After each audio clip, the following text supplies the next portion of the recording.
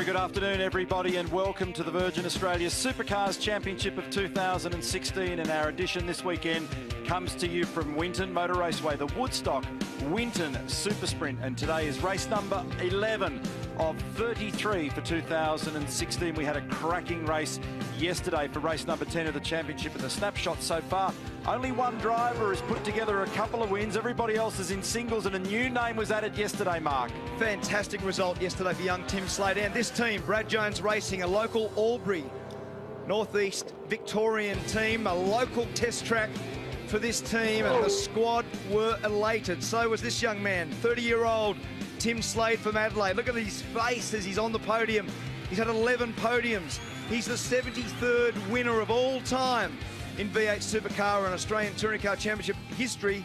And what a performance from young Tim. And he is a standout young man. McLaughlin, as you can see there, currently leads the championship for the first time in 30 years for Volvo over Whincup, Lowndes and Winterbottom.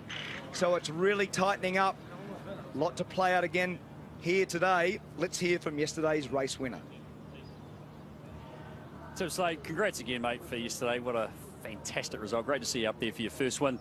And then backing it up, not quite with pole, but with a good uh, second row start for today's race. Great for the confidence.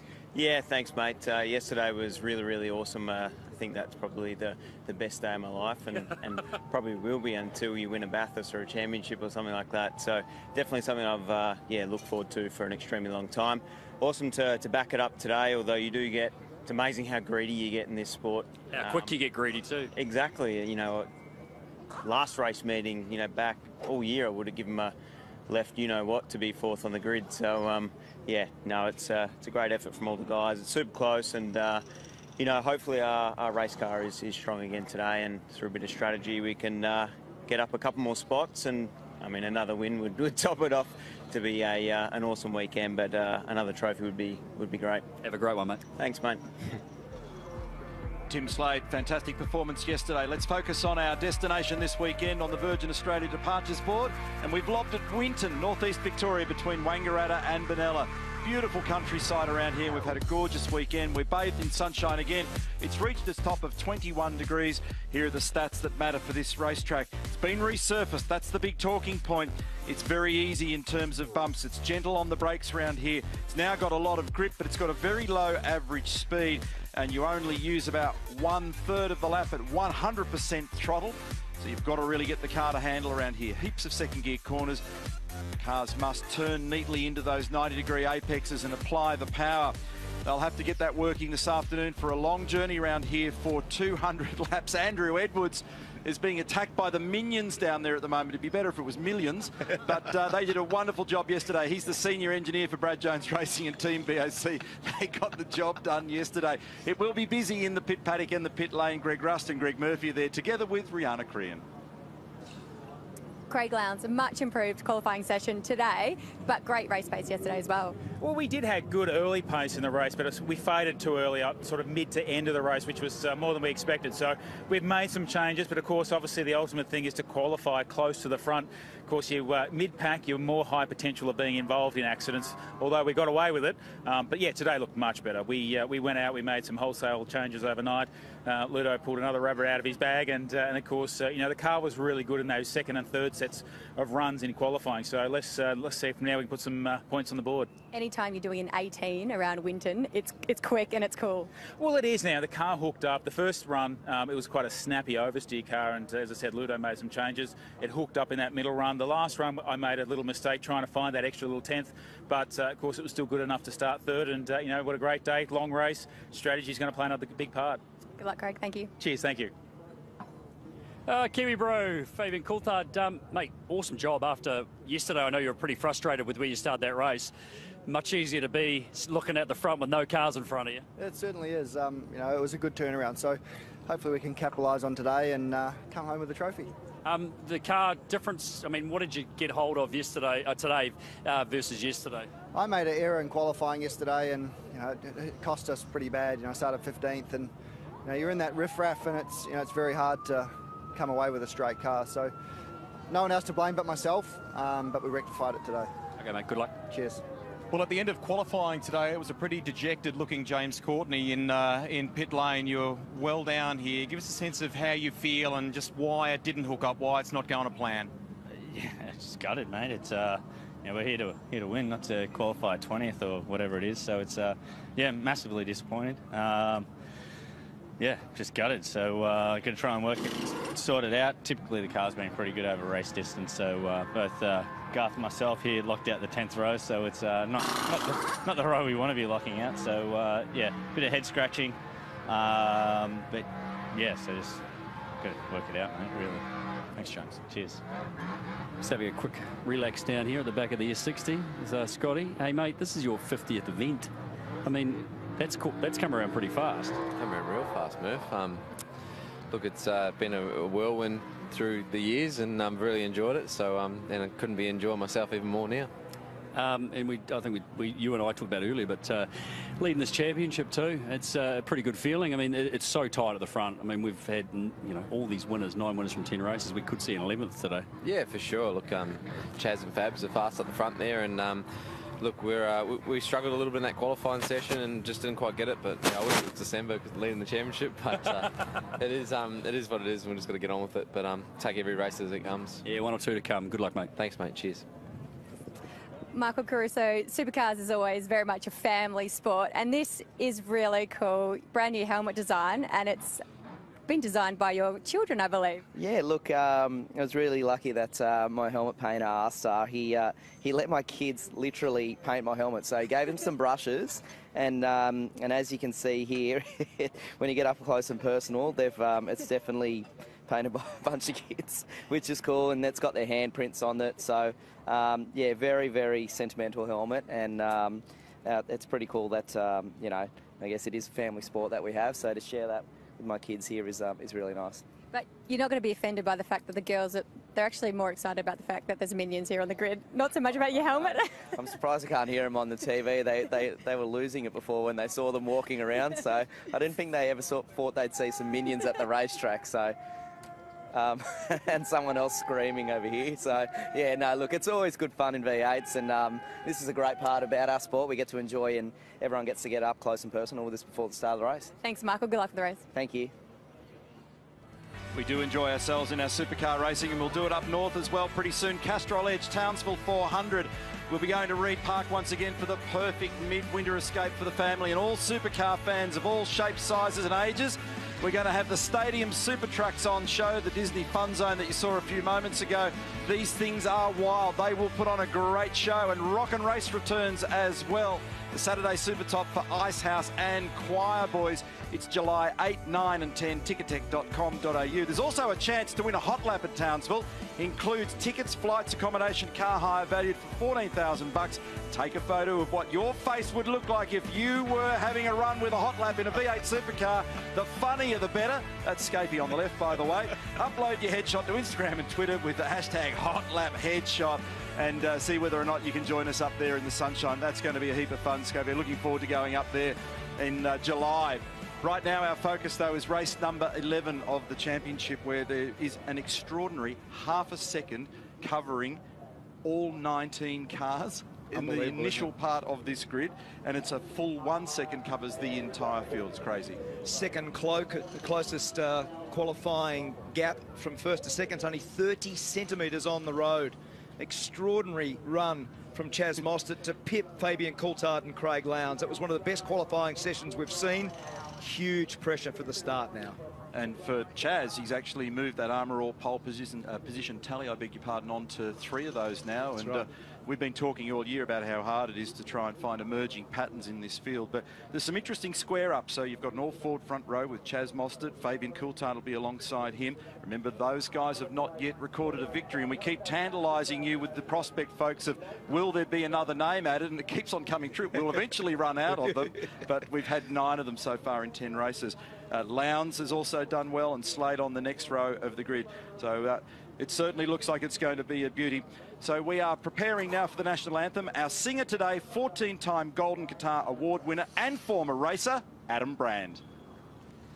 Australians, oh, let us rejoice, for we are young and free, with golden soil and wealth for toil. Our home is girt by sea. Our land abounds in nature's gifts of beauty, rich and rare. In history's page, let every stage advance Australia fair. In joyful strains, then let us sing. Advance Australia fair. Well done, Adam Brand. Great to have him here. Sold over half a million albums, and he's a mad motorsport fan. He's actually driven a Ford Ute in V8 land around here. And now to another mad motorsport fan, here's Neil Crompton in the Hino Hub. Mark, I'm somewhat puzzled as to what's going to unfold this afternoon for race 11 of our championship. So I've jumped inside the Hino Hub and we'll have a look at our race facts to understand what's going to go on. It's going to be a tricky one to read for a whole variety of reasons. But first of all, let's track some facts in the background before we come to Winton. Been coming since 1985 and Touring Car Championship rounds, 28 of them so far. Glenn Seaton and John Bowe have ticked all the boxes for wins. We've got a new crop closing in on those numbers at the moment. History is always our guide. ProDrive have got form here, and Mostert just scored another pole position. Last year, they were the dominant force. Our race facts for this event 200 kilometres, 67 laps. It's going to require something in the order of up to a couple of hundred litres of fuel. Usable fuel in these cars, 110 litres. But the rules also require that you chuck in 120 litres of fuel. That doesn't fit into here, so you've got to do it at least twice, and you can do it how you wish, as you know.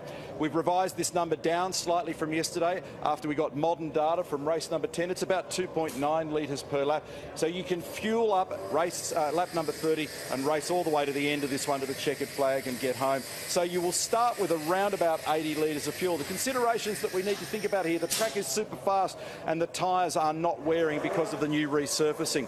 Safety car prop is about medium. We didn't see one yesterday, but these are the things that we need to watch and think about for the way in which this race is going to play out today.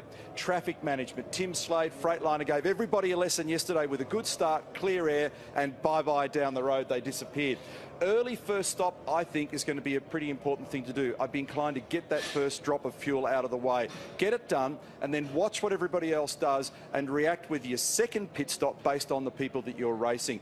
You must avoid this. Congestion in the pit lane or obviously double stacking. And if you stop and think about what happened to Will Davison yesterday in race 10, they had a problem with the right front tyre, cost him six seconds, buried him down the order. And you can forget the undercut. It's not working here like it did in Perth. They tried it for Dick Johnson Racing Team Penske with Fabian Coulthard, and they came up with zeros off the back of that one. So let's have a look at our strategy here, and we'll plot the red, starting with about 80 litres. Remember, this is 110 up here, all the way out to 67. You'll do two stops. I'd be inclined to get the first one done pretty early in the game, making sure you've got space in the tank to be able to do it. The second stop, you can play with it. The tyres are not a drama. If you had some fresh tyres for down the loaded side of the car on the left side, might give you a yield, but you're going to have to react to the people that you're racing. Really hard to try and figure out how this one is going to play out. What I can tell you is there's a strong probability of a couple of new names potentially at the top of this one for new race winners yet again adding to that crazy list if you have a look at the way in which they ended up after qualifying. Chaz, mate, you are starting to rack up some pole positions, mate. Uh, I think it's the third for the year, and it's the fourth one here at Winton. Three last year, one on this one uh, this year. Great job out there. It was a super lap you did. Yeah, super tight. Obviously, the new service, everyone's really close. But, um, you know, it really goes credit to the, the team here um, with Super Cheap Car. We, we worked hard over at the end of practice and, and, you know, we didn't quite have it yesterday quality. So, um, yeah, really fast, the car, and it was fast during yesterday's race. Just um, just started a bit too far back. So we'll see what we can do today. We've had uh, all these winners from such a few amount of races this year. I reckon uh, this is this is the day for you to add yourself to the list, eh? Oh no, me and Fabs we haven't got one yet, so uh, both starting at the front, so we both got a good chance. But um, yeah, it's crazy. I'd hate to get to the end of the year and not get one with how many winners we've got so far. Good on you, buddy. Thanks, guys. who might just sneak in here. There's David Cauchi and the boys that look after Jamie Whincup back on grid position eight for this one. Longer race today. Does that mean you've got a little bit more that you can try strategy-wise, or is it uh, is it a case of just trying to bring home as many points as you can this afternoon? Uh, yeah, when you when you qualify poorly, it's always it's always better to have a longer race for sure.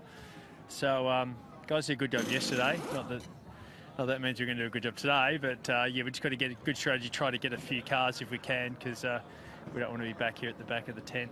I sense that you're flat, mate. Is that more to do with the qualifying outcome and just how that went and how critical it is at a venue like this? Yeah, yeah, we try. We, we just got to qualify better. You know, we, we're qualifying poorly, so um, yeah, we just need to do a better job. So, um, but it's all about the 200k race today. We'll um, we'll try to get up there and make a race of it. Always a hard mark. Okay, get them. Thanks, mate. Cheers. Rick Kelly, milestone event for you, 200th Supercar Championship event. Um, does it feel special to have these milestones racked up? No, it feels special to finish on the podium and win races. So today our focus is that I haven't thought too much about the 200s. I think when you finish racing and you retire, you look back on, you know, how many races you did and what you achieved. But right now we just want to get get the heck up the front. You were strong yesterday though, finishing fourth, qualified well. The car's strong. It certainly is. Look, we had a few small issues in qualifying that really didn't allow me to get the most out of the car. Had we have done that, we would have been right up the front. So certainly the car that the guys have given me is capable of being up there, and that's our job in the race now, is to get from seventh to first. It sounds pretty easy, but on this surface and in this competitive sport, it's actually quite difficult. So just got to try and offset ourselves in the pit uh, strategy uh, there and just see if we can do it. Good luck, Rick. Hope we can celebrate this milestone weekend today. Hope so. Thanks a lot. Cheers. The key or the hallmark so far of Mark Winterbottom's title defence has been the fact that he's been putting away those championship points. He did that yesterday with another podium finish. A little further down the grid today, grid five or row five, I should say. Um, is it a case of just trying to bank more today? Um, it's tough. This track's so hard to pass on now, but uh, Carl was, was really good on entering quali and really bad on exit. So um, track's changed, the conditions have changed, and we didn't get it enough uh, on there. But a tenth of a second's about six grid spots, so it's pretty tight, but yeah, you go racing. That's what we do, and if we can move forward, that's the aim. Um, try not to move backwards. That's that's the goal. Good luck. Cheers.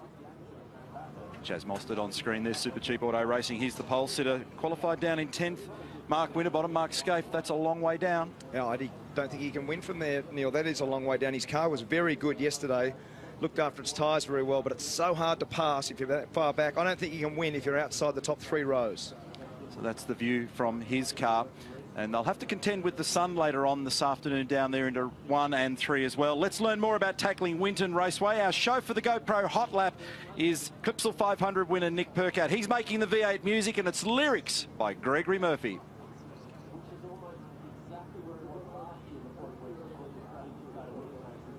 Well, we had a problem with that item. Apologies, folks, but uh, we'll try and get back to that. That's looking down the side of Tim Slade's car, Freightliner Racing. So it was funny. Brad Jones came into the commentary box after qualifying, and Mark and I both remarked to him, "Well, were you happy with that?" And he said, "No. Based on what happened yesterday, our expectations are now a lot higher." All right, we'll have a crack at it. Take two. Let's have a look at this wonderful GoPro hot lap with Greg Murphy. Well, good day, everybody. Welcome aboard the Triple Two of Nick Percat, the Lucas Dumbrell Motorsports Abro Commodore. We're going to take you a lap thanks to GoPro around this Winton circuit.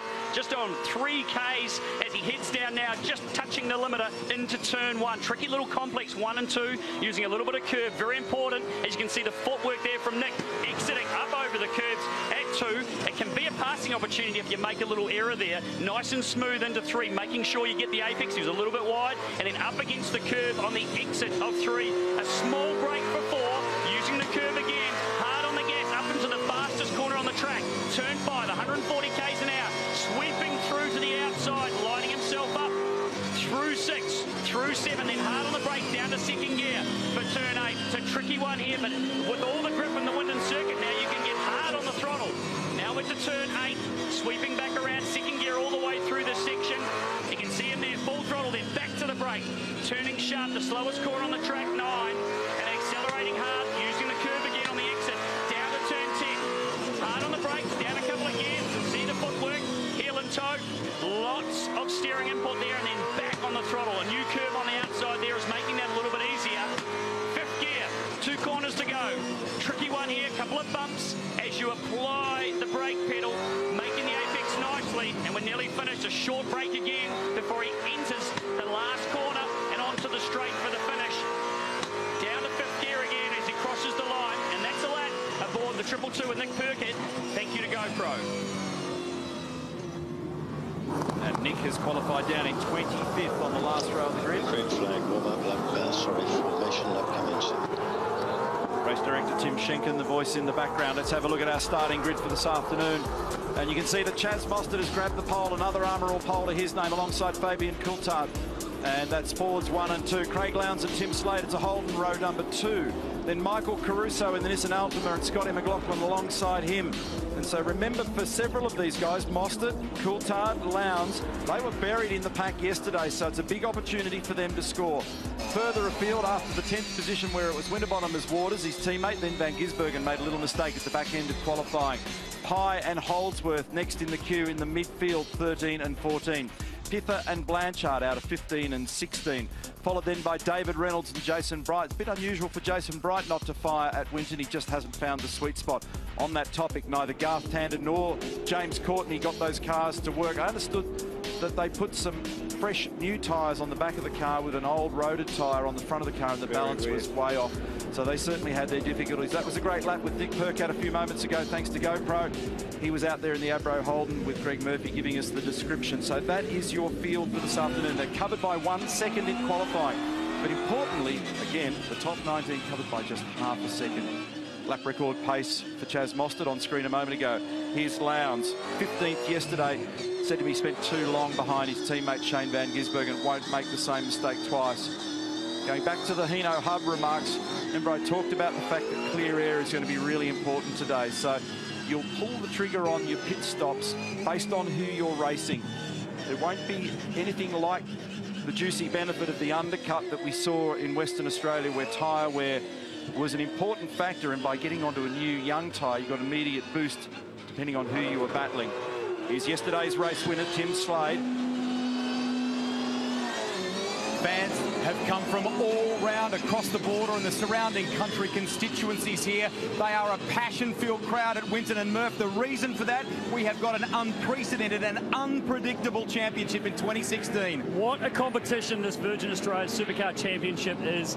We don't know who's going to win this one, but we've got a couple of blokes on the front row that haven't stood on the top of the podium yet so far. Will we see 10 winners out of 11 races? The chances are very, very good.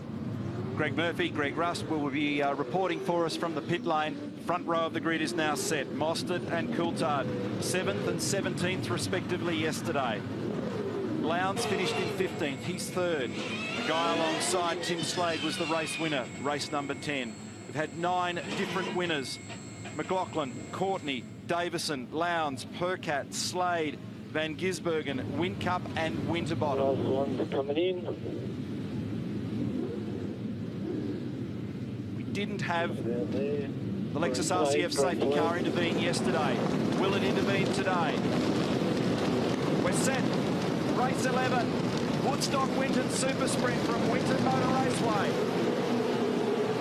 Weird, weird start for Mostert. It was almost as though Coulthard bolted. That was very strange. Totally missed the kick. Coulthard got a great start. Mostert nowhere. And even the rest of the pack wasn't very good. Was like Coulthard was the only one away. Down the inside now, they're all bumping each other at turn three. Big hit for Waters. Van Gisbergen into the back of Cam Waters. See the damage in the right rear corner of the Falcon, the Monster Energy entry.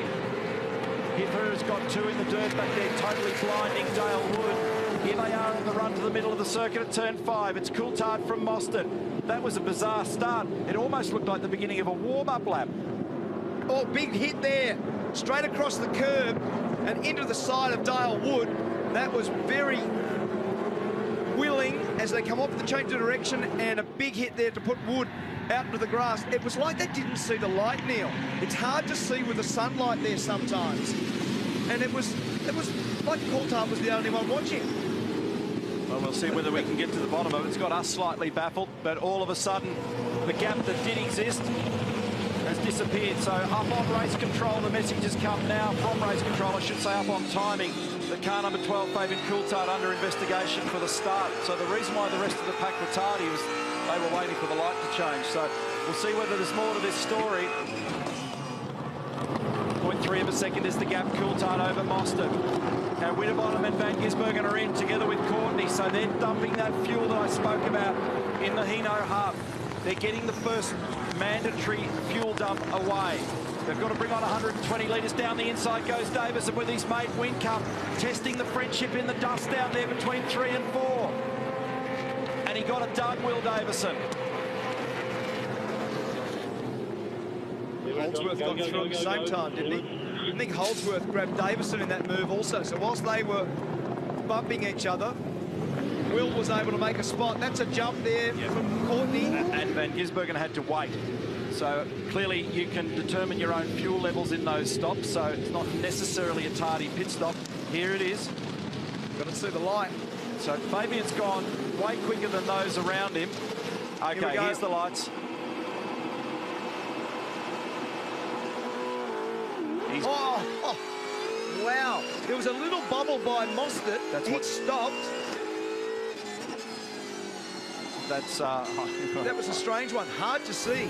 I need toe out on one eye and toe in on the other to see that because I was watching the car and the lights at the same time. Me- Meantime, Mostert is now in. So what happened was Fabian flinched when Chaz did. And in comes Chaz.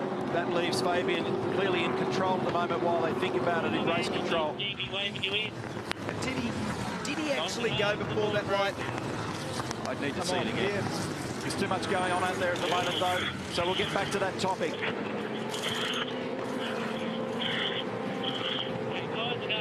Almost there, Jan. Go, go, go, go, go, go. Well done. clear air for Mostert. Good tyres, away he goes. That's important. All these people that have bottled up with others, that's going to be hard work for them. So this is Whincup, and he's tucked in behind Waters at the moment, who got a little bit of push and shove going up there at turn three. In behind him is Scott Pye at the moment. Holdsworth doing very fast sector splits in the Preston Hire entry as well. We're going to get that replay of the start going for you one more time to see if we can focus on it. And I'm going to ignore the yellow car. I reckon he might be okay. I reckon it might be all right too. It was right on it. Yeah, I reckon Yeah. he might be okay. The problem is it's easy for your eye to be tricked by what goes on with Chaz, but I think Fabian's actually got away with it. But anyway, it's in the hands of people who, oh, Rick Kelly, big And contact Caruso. there with Michael Caruso. That will have tweaked the steering in the front right corner of Rick's car. Lowndes has done a 21-2 for the fastest lap of the race. It's Coulthard. Lowndes down the inside comes Waters being attacked by Whincup at the moment with Pye tucked in behind. Jamie gets the run to three. He's got him. He slices down the inside. Whincup puts the move on. Look down the inside also for Pye to go in there together with Tander. Waters gets swamped. This is what we saw yesterday. So as soon as you get wide, you lose at least one spot. In that particular occasion, two spots as we see Pither in the pit taking his first stop. So it's pretty willing out there at the moment. Dive now for right down the inside of Waters. Hasn't Waters been smashed up early here? Yeah, he's And battered and bruised, isn't he? He's given him a bump, he's given him a hit. And now get ready for this one because Bright did exactly the same and Waters has lost one, two, and possibly three as Moffat comes up now, moves over. And Todd Kelly and Tim Blanchard are at it on the run to turn 10 as well.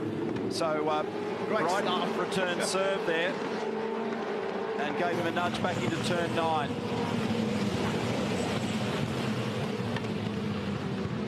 So Oh, he thought he was going to be drilled then. Percat, lucky not to make contact with the back of Waters. In fact, oh, he is. Wood's been, he's run into the back of Heimgartner. That was a lazy hit, that one. Lowndes is in. Lowndes, Rick Kelly and Cam Waters are all in.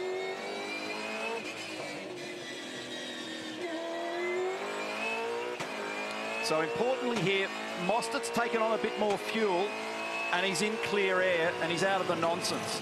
So that's right. actually going to work well for them. Keep an eye on him a little bit later. This is a great replay. So we're on board with Whincup. He does the crisscross. So he gets down the inside. He's working on the back of Waters' car there for ages. Gets down there. Very nice textbook maneuver. In the background, bang, Pye. He pushes him wide. Straight down the inside goes Tander. So again, two spots for Waters. David Reynolds has done the fastest lap of the race now. 1 minute 20.5. Fabian Coulthard's the leader. He's got a one-second margin, and I think that he may have survived that fright at the start that where we all held our breath. And Lowndes has now jumped Mostert. And uh, Lowndes took on 29 litres of fuel and uh, Mostert grabbed a similar sort of number, 28-29. So they're on a very similar strategy. So that was an important position for Craig Lowndes to get. Bit going on out there at the moment. Here we are with Mark Winterbottom on the run towards turn one. Didn't see who it was that was on the outside of him. Apologies, that's Waters. He's just been absolutely bashed up, hasn't he? PLP for car triple one. That's car one one one. PLP exceeding the pit lane speed limit.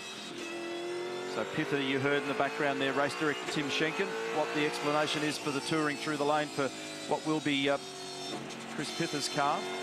So this is all the stuff that Waters got involved in in the last half a lap or so. There's Bright. It's about to arrive. Bright's about to arrive. Right there. Bang. So then there's a little biff and barge up to turn eight. So Waters, bang, gives Bright one, pushes him wide. They run out of there. Waters purposely pushes him wide now. Bang! He gets one in, in reply. Bright goes by. Well, then he got... Todd Kelly goes by. Blanchard goes by. Then he got stomped on by the pack. Here comes Van Gisbergen down the inside. He grabs Courtney, and that's for position. Done. And uh, no breach of rules for car number 12. Important message from race control. So an ideal start for Coulthard. It was more about the flinch that we saw from Mostert that tricked our eye. So he's in the clear, and he's leading the race at the moment by one second. So Will Davison looks fast. He was very good yesterday. Dave Reynolds has done a really good job in this race. He was actually up to sixth spot. He's coming into the pits now. With the fastest lap of the race. Exactly, with the fastest lap of the race. Thank you, Neil. So he's also in there on his own at the moment. In the... All clear behind, mate. All clear behind. You're all clear. All clear behind.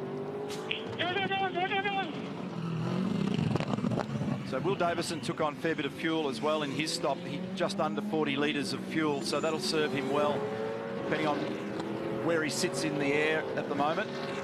There he is on screen, in fact, so he's got clear air, so that'll actually be quite handy for him. He's got a bit of fuel and he's got a bit of track to play with.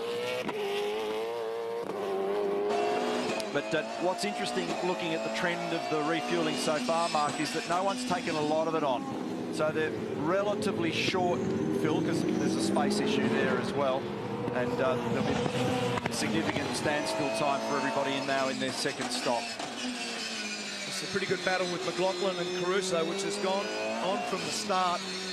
They started alongside each other on the third row. And as you can see there, Caruso putting pressure McLaughlin. They had that bump. Michael Caruso made contact with his teammate Rick Kelly on the way down to turn one. We saw that just a minute ago. It's very violent. Check his actions, the way he drives the car, how fast his down change and the movement that he makes, his technique is very short and sharp. Just have a listen here.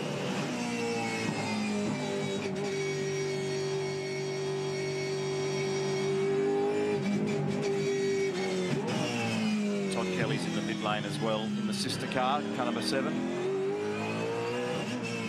So first car that's been fueled in the queue at the moment, 13th, so halfway through the field, so half have done it and half haven't, is Craig Lowndes.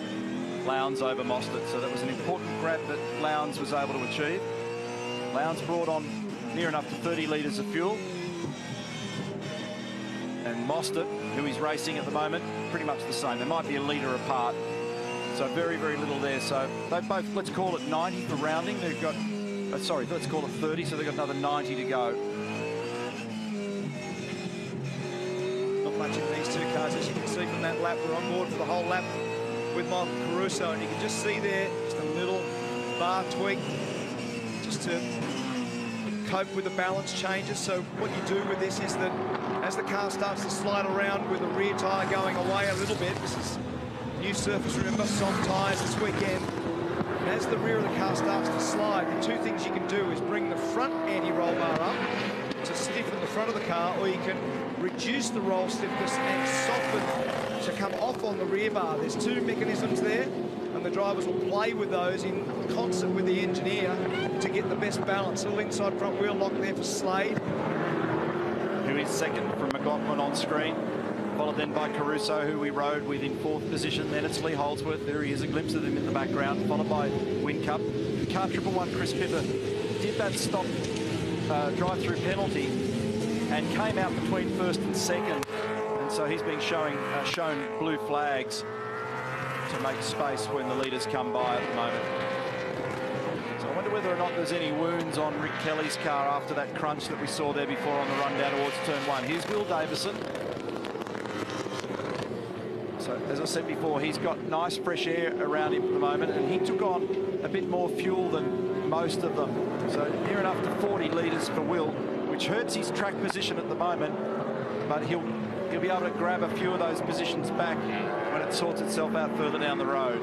He's currently sitting in 17th, uh, but in the queue of those that have stopped, he's about fifth or sixth. He's done a good job, Neil. He was very fast, as I said before, in the closing stages of yesterday's race. And he's 10 to 12 litres better better off than most of those that are in front of him that have, that have stopped at the moment. Remember that bad pit stop, six seconds extra time and stop put him way back. He should have been right up there. Just I just wanted to get a shot of Rick Kelly to see where the steering wheel is off centre. It's not. It's, it's absolutely straight. So that might be a little bit of a reassurance to Nissan fans that Rick Kelly may not have got the steering damage from that contact with Caruso. So that's good news for Rick. It may still have a little vibration or may not be perfect, but it's certainly not off centre by far. And he's third in the queue of those that have already stopped. And uh, he took on 30 litres of fuel, so he's got 90 to go. Turn five. You see that graphic there, Reynolds, another fastest lap, 20.21. So you made the comment before he did a 20.59 at that stage as the fastest lap of the race. And there's that dust that comes up on the left-hand side of turn eight. We're on board with Chaz Mostert chasing down Craig Lowndes. And uh, Holdsworth's come in. So he's pitted now for his first stop. And the top three, Coulthard, Slade and McLaughlin, have all done personal best sectors in the middle of the racetrack. Here's Lee, right-hand side of screen. Straight care off. Long way to go in this race. 57 laps. Here's the fuel being delivered. The rules require 120 litres in total, but you can't get it done in one hit. Ready to go. Fair bit of fuel. Ran well yesterday.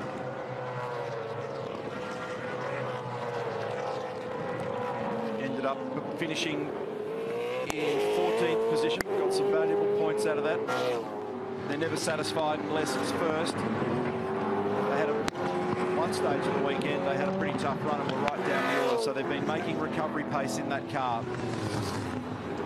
So Fabian Coulthard's got one and a half seconds now over Tim Slade from Scott McLaughlin. Then it's Caruso, then Whincup, then Tander. Then Pye, Bright, Blanchard, Percat, Russell. And the first of those that stopped is in 12th position, and that is Craig Lowndes. And at the moment, the guys who haven't stopped will be doing qualifying laps. They'll be doing the very best laps they can possibly do because they'll be looking to use the end of this tyre set. Just use it up as hard as you can. So they're all doing personal best sectors. In fact, on that lap there before, McLaughlin did his fastest lap. Tander. Here we go, here we go, here we go. Stop. All clear in pit lane. Once the once the car drops, mate, you're on. Go, go, go. So Tander's stop looked pretty textbook. There goes Will Davison. So he'll tuck in behind his teammate James Courtney. Davison and Van Gisbergen are locked in combat here. They're 15th and 16th. A good battle going on. Shane's actually made some ground. Remember, Van Gisbergen was on for a fourth or fifth spot to start this race. He was on a very, very good lap and went off at the final corner. So he was very unhappy with his ultimate qualifying, which was 12. Now, you're not supposed to end up with that fuel coupled and the car on the deck. That was a bit line ball. Very close. So, uh, that's very close to being an infringement there, I'd say, for Team 18. So uh, our cameras picked that up in the lane. Tim Slade's done the fastest sector split in the third sector. Uh, I reckon it was down, depending on the interpretation, up and down the lane uh, via the, via the uh, supercar officials. And Slade, he's just done his fastest lap of the race too, Neil. 20.37 on the previous lap. So, as I said, they'll be using every bit of life, every bit of goodness left in these tyres. Wear them out, smash them up as hard as you can, because now it'll determine where you position yourself after their stop. So currently, 10 guys haven't made the stop. Coulthard, Slade, McLaughlin, Caruso, Whincup, Pye, Bright, Blanchard, Percat, Russell. Craig Lowndes is the first of the people that have made that first compulsory stop.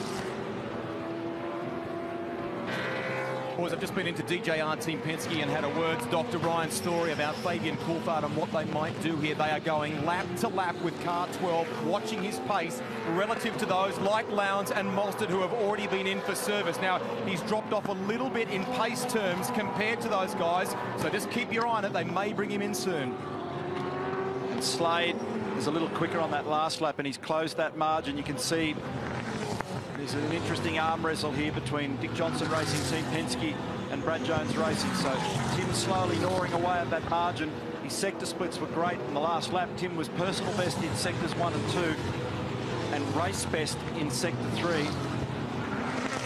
And uh, a similar strategy game going on here because there's there's a bit of uh, well, commonality is probably the correct terminology here because Phil Keed engineers Fabian Coulthard came out of Brad Jones Racing, so they obviously each know, well, they don't know the specific strategy for each race, but they'll have learned the same sort of tricks over a long period of time. So they're shadowing each other at the moment in this race. Lee Holdsworth had just done the fastest lap of the race at 20.2. Garth Tander has just eclipsed that time to set the fastest lap of the race in car two for Holden Racing Team a 20.16. So he's just done his stop, come back out with fresh tyres, he's using them up. And in fact, we saw Tander just with his teammate there. And they do race well, both James Courtney and Garth Tander. Tander made a lot of ground early. So this will be interesting to see how far Coulthard and Slade run now. Caruso's in. That allows McLaughlin and Whincup to be third and fourth. Again, it'll be a nice, clear, easy run. On your mate. Wheels are just going on at the moment.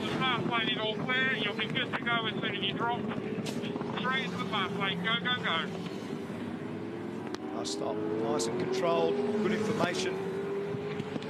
Ludo's talking to Craig meanwhile because they're concentrating hard. They're on a different play at the moment. The battle with Mostert is an intriguing one because he's got a little gap, about a second over Mostert. Trading blows in terms of ultimate speed. These guys also trading blows here. Davison and Van Gisbergen. Craig's doing whatever Ludo wants him to do, so he just said thank you very much, and it was a personal best lap for Craig on the last lap. Lowndes did a 1 minute 20.4. So we're also seeing this ongoing trend from yesterday, a very flat and speedy lap speed. People are punching out numbers much deeper into the session, into the race than we might otherwise expect.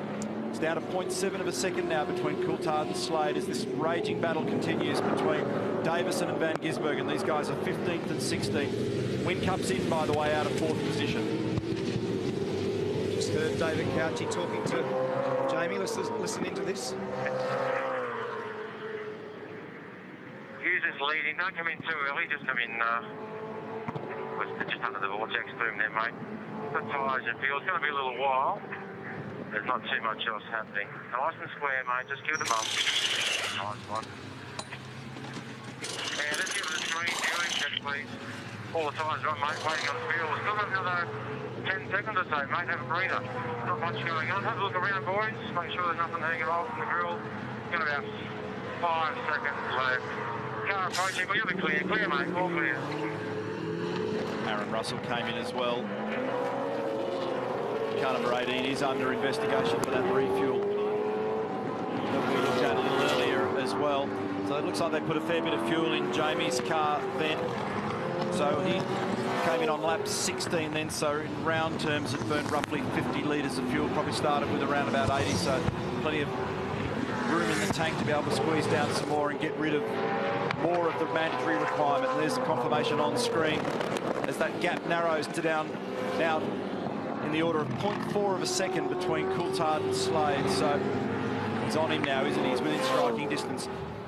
I walked up there earlier in the day on the exit of turn two to have a look at the curbing. There, you made the remark to me yesterday that that exit curbing is pretty, pretty nasty, pretty harsh, and it is. It's, uh, it's seriously aggressive. No wonder they try and stay off it either on the ideal race line or some people are now doing the full straddle and getting to the left wheels to the left of it. Guys, just uh, taking a look at the rig there on for car 88. Uh, you can see he was obviously sitting still for a long time. Just over 70 litres going into Jamie Whincup's car. So they are fueled for quite a long period of time. This is shaking up to be a pretty interesting one strategy-wise, isn't it? Yeah, it is. On our numbers, we're seeing 65 litres for Whincup. Caruso now got into the 19s, by the way. So 1 minute 19.9 for Michael Caruso. Fastest car on the racetrack. 0.3 of a second is the gap between Coulthard and Slade. You can spot it there on screen. It's tight. These fellas, compared to the first in the queue that's done a stop, which is Lowndes, is 35, correction, 38.5 seconds. He's all over him now. This could be on for a positional change. I reckon this is hurting both of them now. Yeah. They, but they need to get in. They need to put some fresh tyres on and get organised because this is the opposite of the undercut. The other guys are making huge ground and whilst they're doing late 20s, 20.9 that lap for Coulthard, you said a second ago, Caruso's on a 19.9. Full second difference. So Slade last lap was a 20.6. He was about three tenths of a second quicker than Fabian Coulthard. As we take the rear bumper cam shot from Fabian's car, certainly having a much more of an evident struggle at the moment, isn't he? Look how Tim can place his car by comparison. This is turn eight.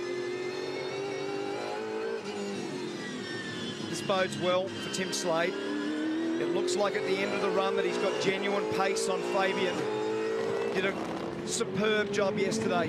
Faultless drive from the young 30-year-old from Adelaide. Pit this lap, pit this lap.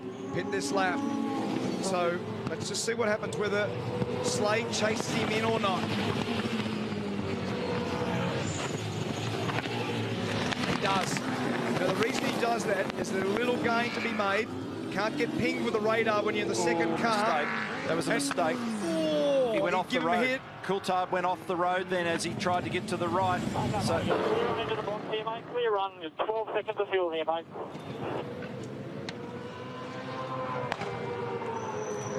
Now, do they react to each other and keep an eye on the other for fuel load, or do they just play their own game?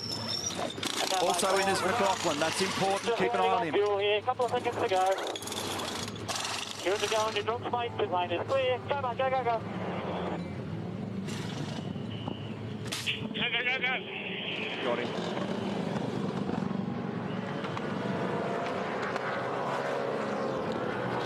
Bright's the only one out there now that hasn't stopped.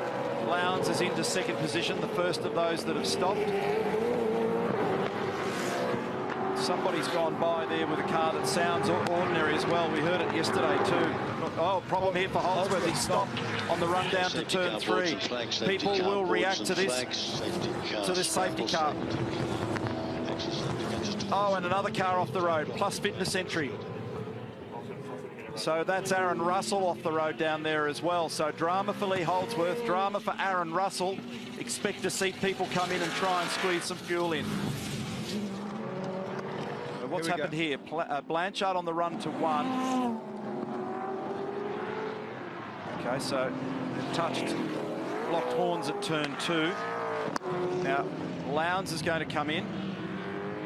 And uh, Aaron's gone wide down there at turn 11. Managed to come out the other side, though. Well, fellas, Aaron Russell's got a major problem now. There's something going on. I thought it was actually oil smoke. He's got a, a left front suspension issue by the looks from where I can see at the moment, but there was a lot of smoke coming out of that car. It's a wheel. He's got a puncture. So he's gone off down at 11 because the left front wheel. the tyre has gone down and uh, he's lost that one. This is important. Lowndes and Mostert have come in together with Winterbottom and Caruso. They're all jumping in to grab extra fuel at the moment. Still 49 laps remaining. Reacting to the safety car, Rick Kelly stayed out, Tim Slade has stayed out, Fabian Coulthard stayed out. Slade and Coulthard just did their stops. Okay, mate, we've got you here. Pretty busy pit lane, as you can see. Is Eddie into the box for us? That's the way. We don't need to tear off. Good to go. We just... Uh, Remember, they can't get home from here. This is a top-up. traffic in the lane, mate. HRT had had to double stack and uh, critical lap, if you remember the Hino hub, was lap 30. Oh, there's a Graunch there. Caruso and Waters. Waters is having to double stack as well. It didn't cost him too much. Oh, that's close to contact between Tander and Mostert. Garth thought about trying to wriggle around him, couldn't be done. There goes Van Gisbergen. Rick Kelly's the leader from Slade and Coulthard. So this is a very interesting strategy play whilst we're behind the Lexus safety car because some had just stopped, some had just been in the pit. Here's Mostert just rejoining very close with car two, Garth Tander. In fact, Tander moved it just outside the fast lane to just relieve the stress and the pressure there. There's the damage to the left-hand front that Greg Murphy reported for Aaron Russell. Let's go Fiona Preston Hire Racing with the team owner Charlie Schwerkolt. It sounds like a gearbox issue for Lee. Yeah, it looks like it. He was going into that corner up there and uh, went downshifted and uh, yeah, nothing left unfortunately. And uh, we don't know if it's a drive shaft. We don't know what it is. And uh, but yeah, he's got no gears unfortunately, which is devastating. You are going to have a good day in the sun, Charlie. I know it. Thanks, man. Frustrating after qualifying sixth for yesterday's race. And then, as I reported earlier, it made it into the, uh, uh, what was he, 10th in the race and then qualifying in 14th. Here's the replay of what happened down here at turn two between Aaron and Tim. This will be the reason for the failure that Greg Murphy was talking about and the one that sidelined the Plus Fitness entry. So that's put some damage in the front left corner of that car, potentially damaged suspension and also punctured that tyre. Now Chaz has come back in, Super Cheap Auto entry. Wonder why here. What's going on there? Squeeze some more fuel in. Got a clear run in round VOC. Nice and hard. Belly button dash of fuel, bro. Fuel to bomber. So they've got, uh, on our numbers at the moment, they've taken 76 litres, so they're just getting some more in. Go, go, go, clear. Go, go, go. We're hearing just strategic. Well, we're hearing reports they maybe didn't get enough on the on the second stop. Then they didn't get enough apparently. So let's just see what happens here in terms of what that does. That'll smash Chaz track position stakes because it actually puts him behind James Courtney. So on the road at the moment, he's actually 24th. Rick Kelly leads from Slade, Coulthard, Davison, McLaughlin, Reynolds, who's done a good job today, Whincup, Bright, Moffat, Percat. Again, interesting strategy plays. I was uh, just uh, looking on Ch Chaz Mostert's uh, rig here, fuel rig, and uh, he's managed to squeeze it all in. So he's uh, looks like good to go to the finish. Wow. That is interesting, Greg. Safety car when you're out of can nine get home up to, up to 80 When please. we're not at uh, the critical lap yet.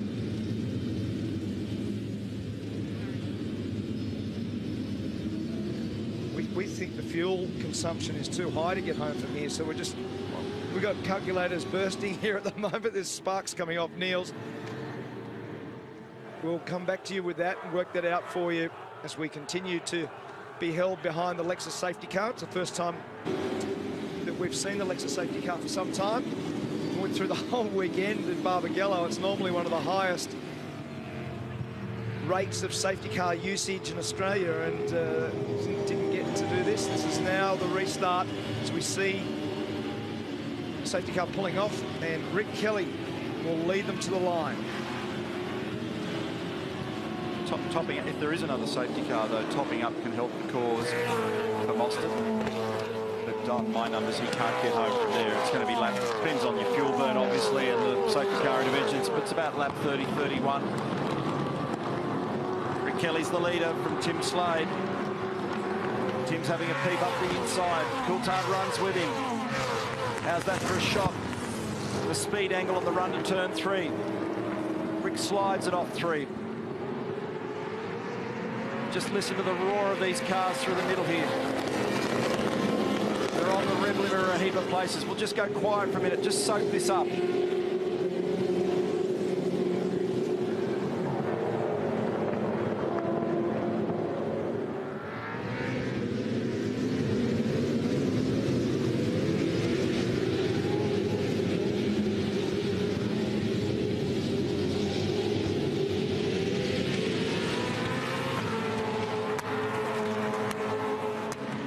Having a look down the inside, Slade at 10, he makes a move.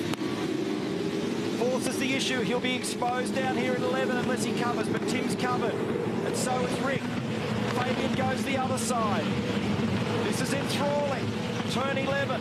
Linus Stern up the inside. Oh, yes, done. Will Davison, he's got it done. Nice work, Will. It's not over. They're alongside each other, the two New Zealanders. McLaughlin's around the outside. Little bump from Dave Reynolds into the back of the Volvo. Big slide from McLaughlin. That was great car control. That was a right-hand rear tyre failure, I think, for Mostert. Brights down the inside of Whincup. Wow, what a restart. It was. It looked like there was damage on the right rear of his car, didn't there? So they're trying to grab fuel for Mostert, I imagine, but there may be more damage. We'll come back to that one. How was that manoeuvring in that last half a lap? Nice move for Will Davison. Yeah, there is damage there, big damage. So pop the tyre off. You know This why? just murdered him. That's when you get back in the field too far. You spoke about it in the Hino Hub. Track position is king. You go back too far, there's damage also, a lot of damage to the left-hand side there for James Courtney. That's probably out of turn two. That's huge. Now they're a bit more to the story here because they're together. So Mostert down the inside. Yep, little bump. Oh, and they hit hard. That's heavy contact. That's the damage for both cars. So sorry, it wasn't turn two. Look at that. Locked wheels. So it was right rear wheel with left rear wheel on James Courtney's car. And picked it up and threw the super cheap car down, wrecked the rim and the tyre. So Slade's got control of this race now, and off he goes. He's got a second margin already over Rick. Once again, Will Davison is racing, and Fabian's tucked in behind him. Will sold him a pass there at turn 12 before and got it done. He did. This is the spot. Rick made his own mistake. That's at turn 10. He ran in there slightly too deep, got wide, couldn't get it back to the apex, and Tim Slade gets through. Now, we said Tim Slade's performance yesterday was faultless. He has now, with that manoeuvre, put himself into a situation where if he can drive the car smoothly, do beautiful, clean laps, he can win this race again today. That was gift wrapped. That was. Turn 10. Would you like the lead? So Rick will be frustrated by that. Just outbraked himself down there at turn 10. Yeah, We've got about 17 laps of, uh, of tyres on Will and Rick, so once ours come up to pressure, should be good. So that was the voice of Phil Keed. Interesting, he said once they come up to pressure, so they've started those tyres as low as they dare and expecting performance to build. So he's all over the back of Will Davison as now Mark Winterbottom comes in. We're hearing there may be a puncture for Mark Winterbottom. Monitor that for you once again, straddling the curb and on the run up the hill is Coulthard, who looks like he's got a bit of extra speed now. And strategically, Winterbottom was in reasonable shape with the amount of fuel that he brought on. So if he has got a problem here, this is a crush. Go when it drops. Go when it drops. Cleared. No, no, no. So we may have been dudded there. So up the inside now. Fabian Coulthard puts him in an awkward spot when they get to turn number eight. He drops back in. He can't expose too much of the rear of that Falcon at the moment because David Reynolds will be straight in there. This is all just perfect for Tim Slade. 2.9 seconds the margin now and a personal best for him in the first sector.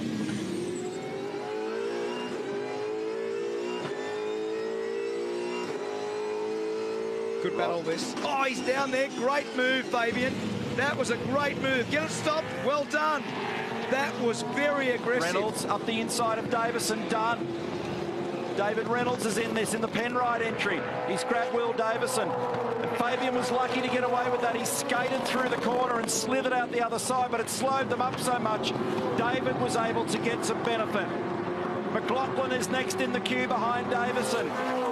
Then it's Bright. Lowndes in the pit with Waters. I don't know where to look. Dave Reynolds, what a great pass that was. Very impromptu. Those spontaneous passes are great. Let's listen to this, Lowndes. A little bit of traffic in the lane. Good to go. Good to go. We are.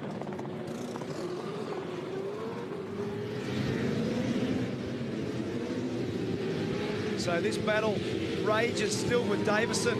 McLaughlin, little rub, little rub on the way in. Dave Reynolds has done a great job. His best position so far this year was race three. Oh, and off. Contact with Winterbottom. Contact, Lowndes off the road. This is a game changer for Craig Lowndes. He loses another spot there. Now, Winterbottom on my numbers also is fueled to the end. So they got the benefit of some additional efficiency from the safety car. And if their fuel burn was a bit better than we were predicting, it shifts forward that critical lap slightly. But that's a big moment between Winterbottom and Lowndes. There's stuff going on everywhere at the moment. Here we are with Kelly. Tucked in behind him is Coulthard, then Reynolds, then Davison. And look at this angry pack involving McLaughlin, Bright and Whincup. I was really impressed with that Fabian Coulthard pass. It was an aggressive dive.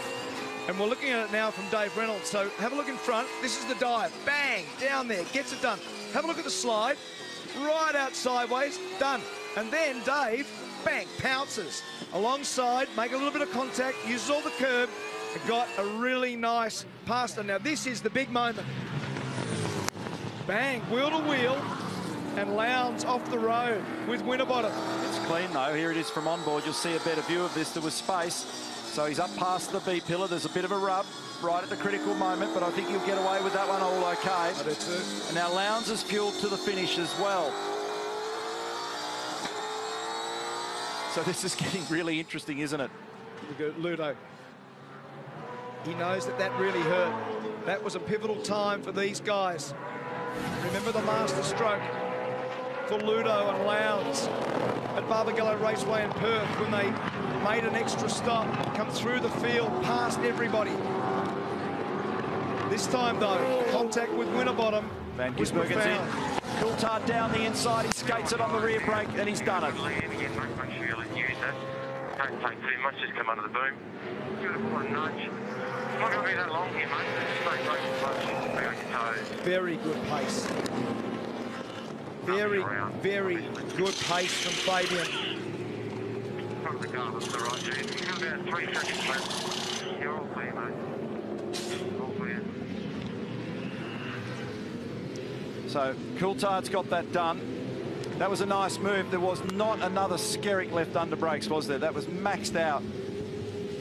So he's clear now, but he's six seconds behind Tim Slade.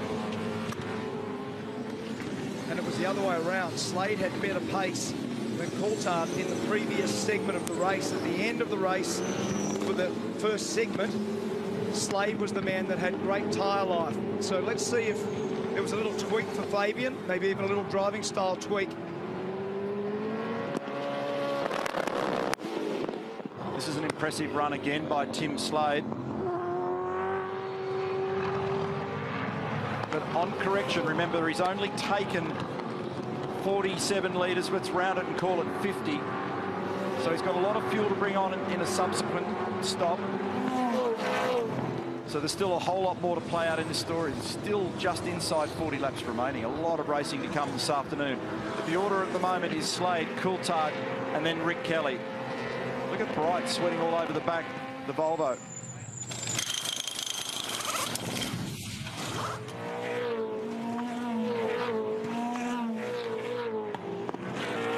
This has been a popular spot for people having trouble today as well. So Garth Tander's tossed it off the road down there on the way in. There's been a bit of pressure down there. The track's obviously pretty grubby in that location, but there's valuable seconds lost as well.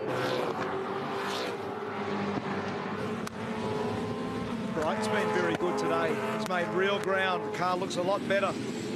Maybe a little more like his teammate in terms of Slade's performance. Slade, Coulthard, Kelly, Reynolds, Davison, McLaughlin, Bright, Whincup, Moffat, Percat. That's your top 10. There's some out of sync because Winterbottom, Lowndes, Van Gisbergen, they've made extra stops. So has Cam Waters. A lot of damage to the side of James Courtney's HRT car. Huge contact with that bump at turn 10 with Mostert. Much more than a bump. They ended up catching wheels together. Leapt the car in the air. A lot of damage to the left-hand side of James Courtney's HRT 22.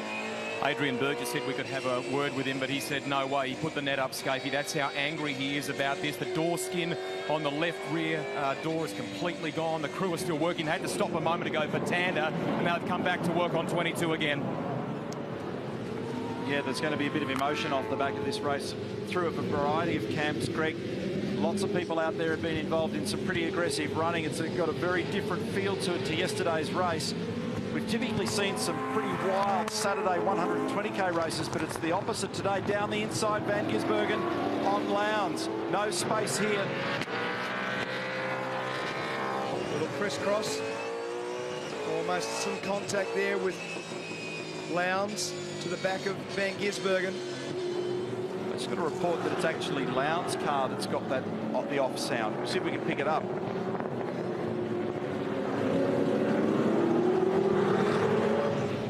It doesn't sound great, does well, it? there's one of them in the field going by. We saw Percat have trouble earlier in the weekend with a misfire, but the word is that it could be Lowndes. comes back in with Moffat and Caruso, by the way. Dave Reynolds got real pace here, Neil. Made a lot of ground on Rick Kelly. Genuine speed, and genuine speed for Jason Bright. If he can get by McLaughlin, the car looks very good as we're looking at Whincup now.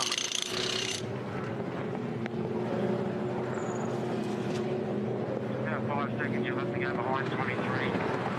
You're clear, clear. Oh. So a big rotation there for Bright. Tried to get by McLaughlin. Was gyrated doing so. He was getting frustrated. You could see he was getting frustrated trying to get by. And as I said, just before that incident, he had really good car pace. Scott was holding him up, but you've got to make these clean. So here he is. He's fired down the inside He just gets in on the curb and just turns himself around. Luckily, didn't make contact and then straight into first gear, spins it around. In fact, he'll be in a bit of trouble for that because it looked like with Todd Kelly that he had to take evasive action. So this is on board now with Scott. There's Bright over the curb. He rotates. Now, he's lit it up, turned it around, but have a look at the other cars. They've actually got to go off the road to avoid him. Now, Dave Reynolds, who I was just complimenting for his speed. Todd Kelly in. No, no, no, no, no, no.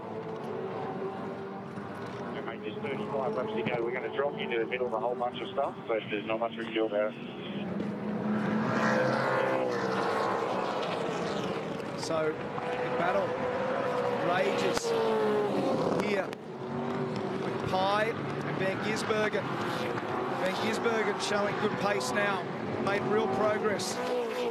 Slipped away a little bit. I think it is Lowndes' car. When we just got that wall shot there, I reckon it is Lowndes' car on seven cylinders. Sounds like a Massey Ferguson.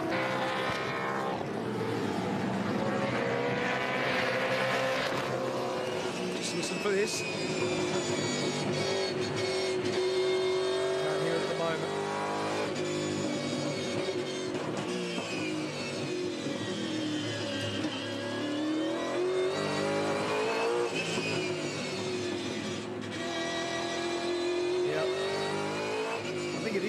That zone there because you don't use a lot of throttle.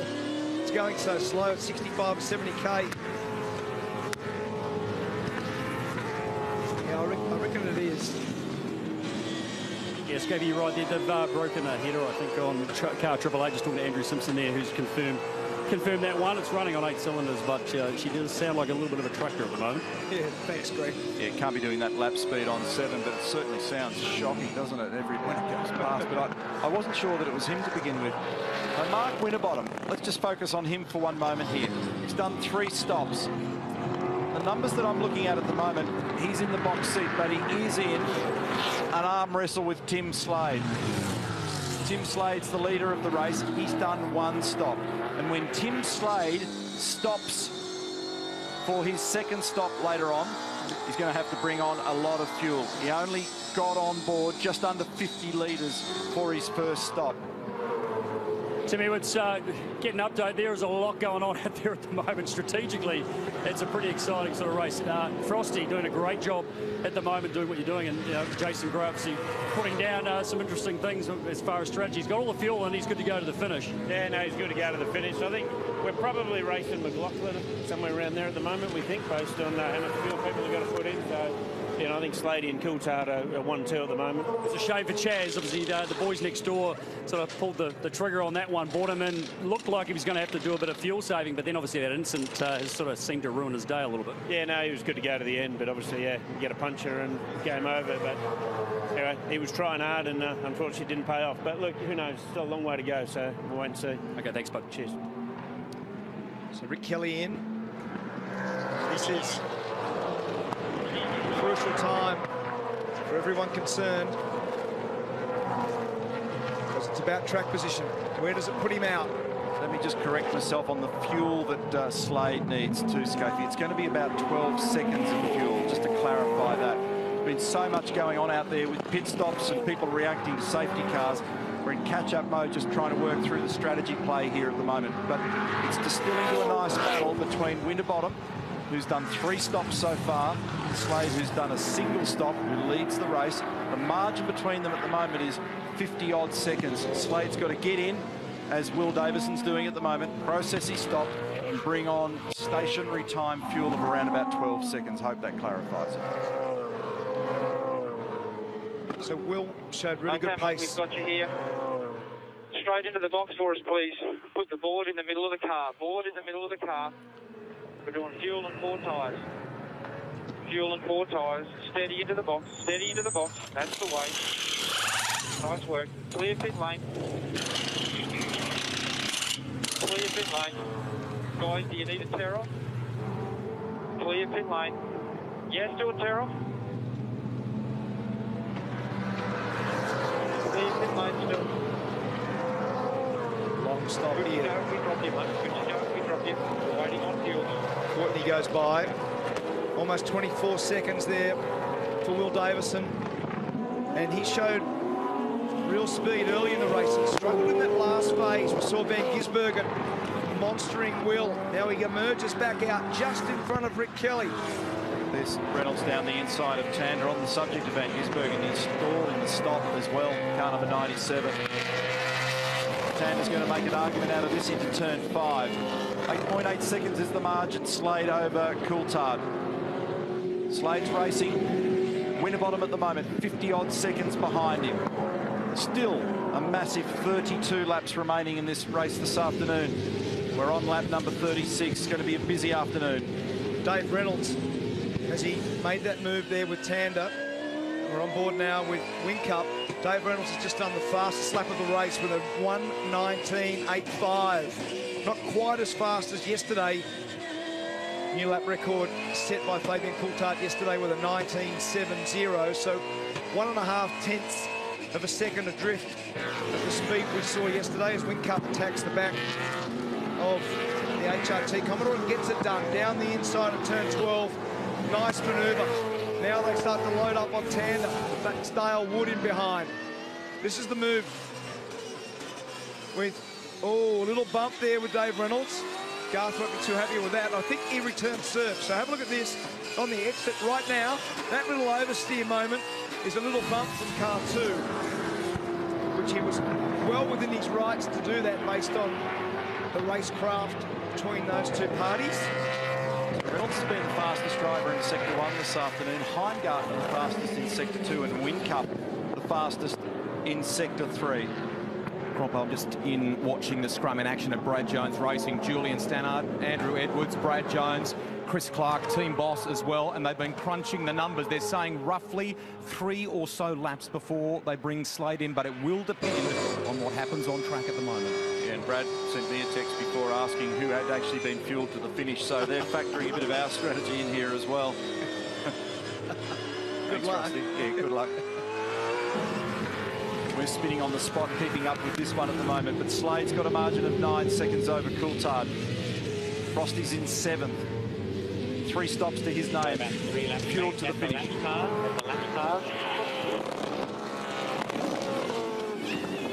Oh, big mistake there and running wide for Heimgartner, which creates a little moment for Slade. They're the things you've got to negotiate. On correction, the corrected gap between Winterbottom and Slade is showing on the computer as being very, very narrow. That's the reason why the boys down at Brad Jones Racing are biting their nails. Not long now. The next car, 22, he's a lap down as well. This is a great story for these guys and for this young man, particularly based on what happened yesterday. There's his engineer. That must be contagious, the Brad Jones rattle. Whenever he's agitated, Brad's knee or nervous bounces up and down. Julian's caught it. Might be viral at BJR. Julian didn't need, just because we're up in Ned Kelly country to look like Ned for the weekend. He looks like a little replica, doesn't he? So here we are back on board here with Tim Slade. There's Julian. Pretty healthy beard he's got They're going. Working numbers hard there at the moment, and that's James Courtney just sidestepping because he's well out of this race. He's 11 laps down. Slade, who drove very well yesterday, become the 73rd winner in the history of the Australian Touring Car Championship, V8 Supercar and Supercar competition.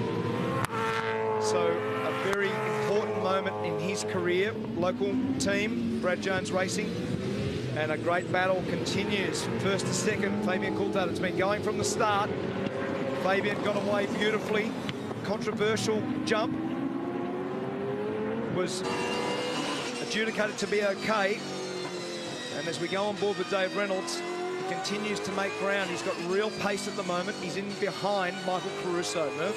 Yeah, he is, mate. I'm in with uh, Barry Ryan, team principal here at Erebus too, just watching David Reynolds, mate. Uh, been finding some real pace in that car over the last day or so. You guys, been, I know how hard you've been working to try and find it, and Dave's finally looks like he's got some good confidence there going. Yeah, you know what it's like. You drove it in the co-driver session, so we've worked really hard. We're testing every session we go out. We're just starting to get a car that Dave's actually driven for the same time, like session to session instead of a different car every time. So he made a bit of a mistake in qualifying today, which is probably his first mistake compared to the team. But yeah, it's going really strong now. So yeah.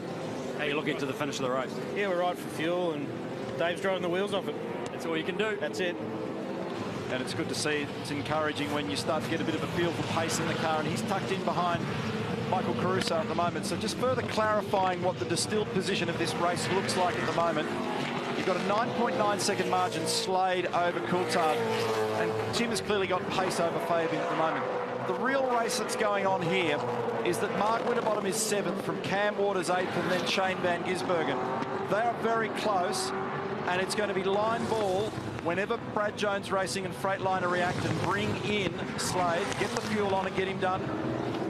We're watching Reynolds as to how that all pans out.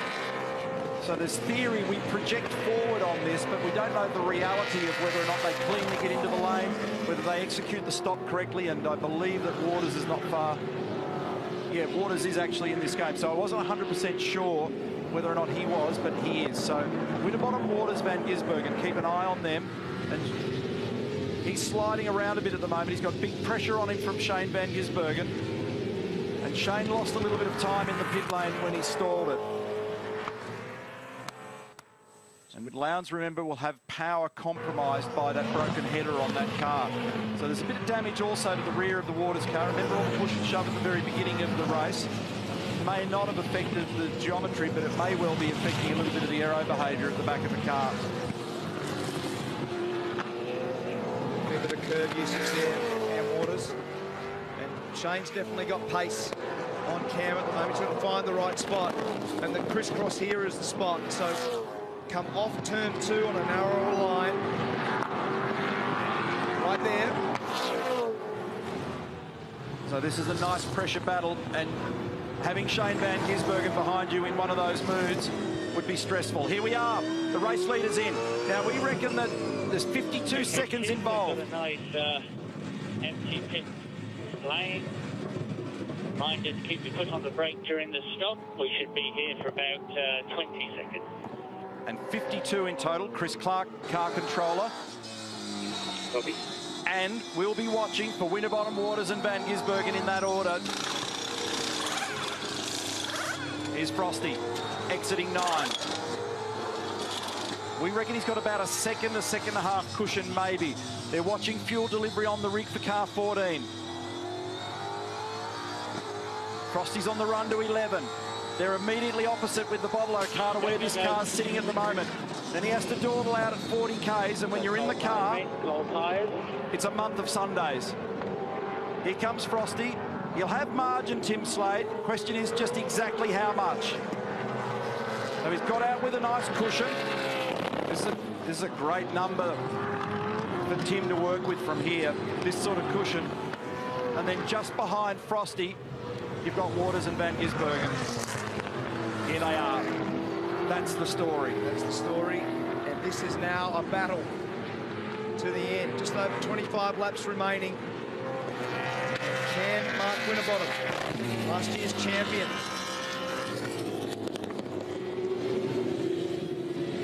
Dane Brown. This is this. Well, I thought Aaren Russell was going to do it again. I thought Perth. They had the drama at Perth with Aaren Russell and Mark Winterbottom. I thought there was going to be contact there on the way into turn seven.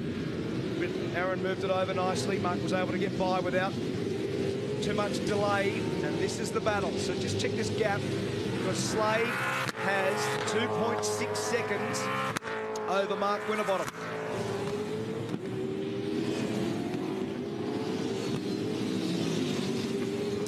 So Coulthard's got eight and a half seconds over Scott McLaughlin. Remember, Coulthard, McLaughlin, Percat, Bright, Blanchard, they've only stopped twice. Tim Slade's now done his second and his final stop in the race. The real focus at the moment is the margin between Slade and Winterbottom, but there's a big argument going for the minor placing at the moment. Tim Slade may well pull a double winner act out of his Woodstock Winton Super Sprint weekend, which would be a fantastic outcome for him. Yeah, as we look on at uh, Scott Pye, Dr. Ryan Story was going to grab a bit of an update. This has been an incredible strategic race that is still yet to probably play out completely, but uh, your guys in pretty good condition. I mean, uh, Pye, Scotty's doing a great job. Fabian still to stop. Where do you think Fabs might pop out? Well, I think we're only a couple of laps away from stopping, but I think Fabian's going to come out around his teammate Scotty there, so uh, we'll see what happens. He'll be in good shape though, with some good tyres on there. Yeah, fresher tyres. Hopefully, we can uh, we can be on the attack for the last few laps of the race and see how we go. He looks like he has been having a little bit more of a struggle though. Scott's pace a little bit better than Fabian's. He's been uh, seeming to use the tyres up a bit more. Or... Yeah, he hasn't had good, as good a run on this set as what he had on a set before. So hopefully, with a with a fresh set of boots, he'll, he'll do all right. Okay, thanks. Mate. Thank you. Cheers. And the reason that happens is only half a pound or a pound of tyre pressure can make an enormous difference. And so when drivers often talk about variance from set to set, usually the culprit is tyre pressure. Here's Bright into his final stop. That leaves Coulthard, McLaughlin, Percat, Blanchard still to do their second stop. That's eight seconds. Now, Van Gisbergen snuck on by here, and I think there was a moment, there was a moment for Cam Waters up here at turn seven. So that was, again, a gift wrap position for Shane Van Gisbergen. We're on board now with Shane, check this. So just too wide, catches the sawtooth curb with the left-hand rear right out sideways. Actually a good save by Cam Waters. Now this is on board with Lowndes, and this is Dave Reynolds who continues to fire forward, and he's gone off there, Yeah. I reckon, 10 times through the course of the weekend. He's had a shocker at turn 11, hasn't he, all, all weekend. He's talked a lot about rear stability in the car as now Coulthard comes in for his final stop with an 8.8 second lead. Should drop in about sixth or seventh or thereabouts. He's going to be battling with Craig Lowndes. He's not going to be on the podium.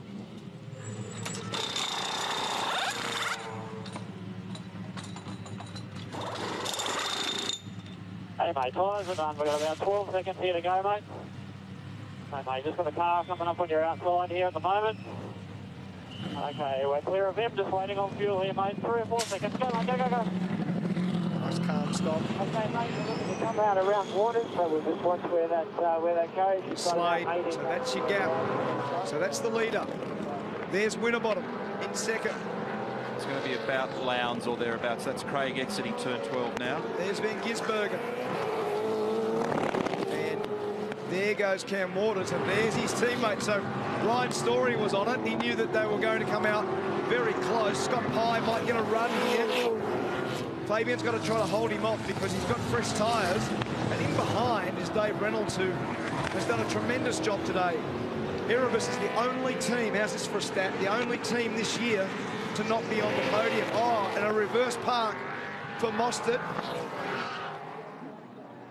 He had trouble here on Sunday last year. What a shame for the pole sitter. What a tough afternoon it's been for him. That was at turn two. Awkward place to have a moment. Cars all approaching there. Very high speed.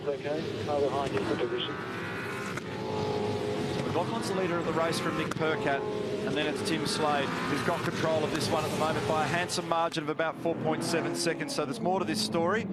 So it's contact between turns one and two, Bright and Mostert, whose difficult day gets worse. Always hard with that rejoin there down into turn one. Frustration for Mostert is these great qualifyings without the conversions. Happened in Perth, it's now happened here. And, and that'll be hard for that group.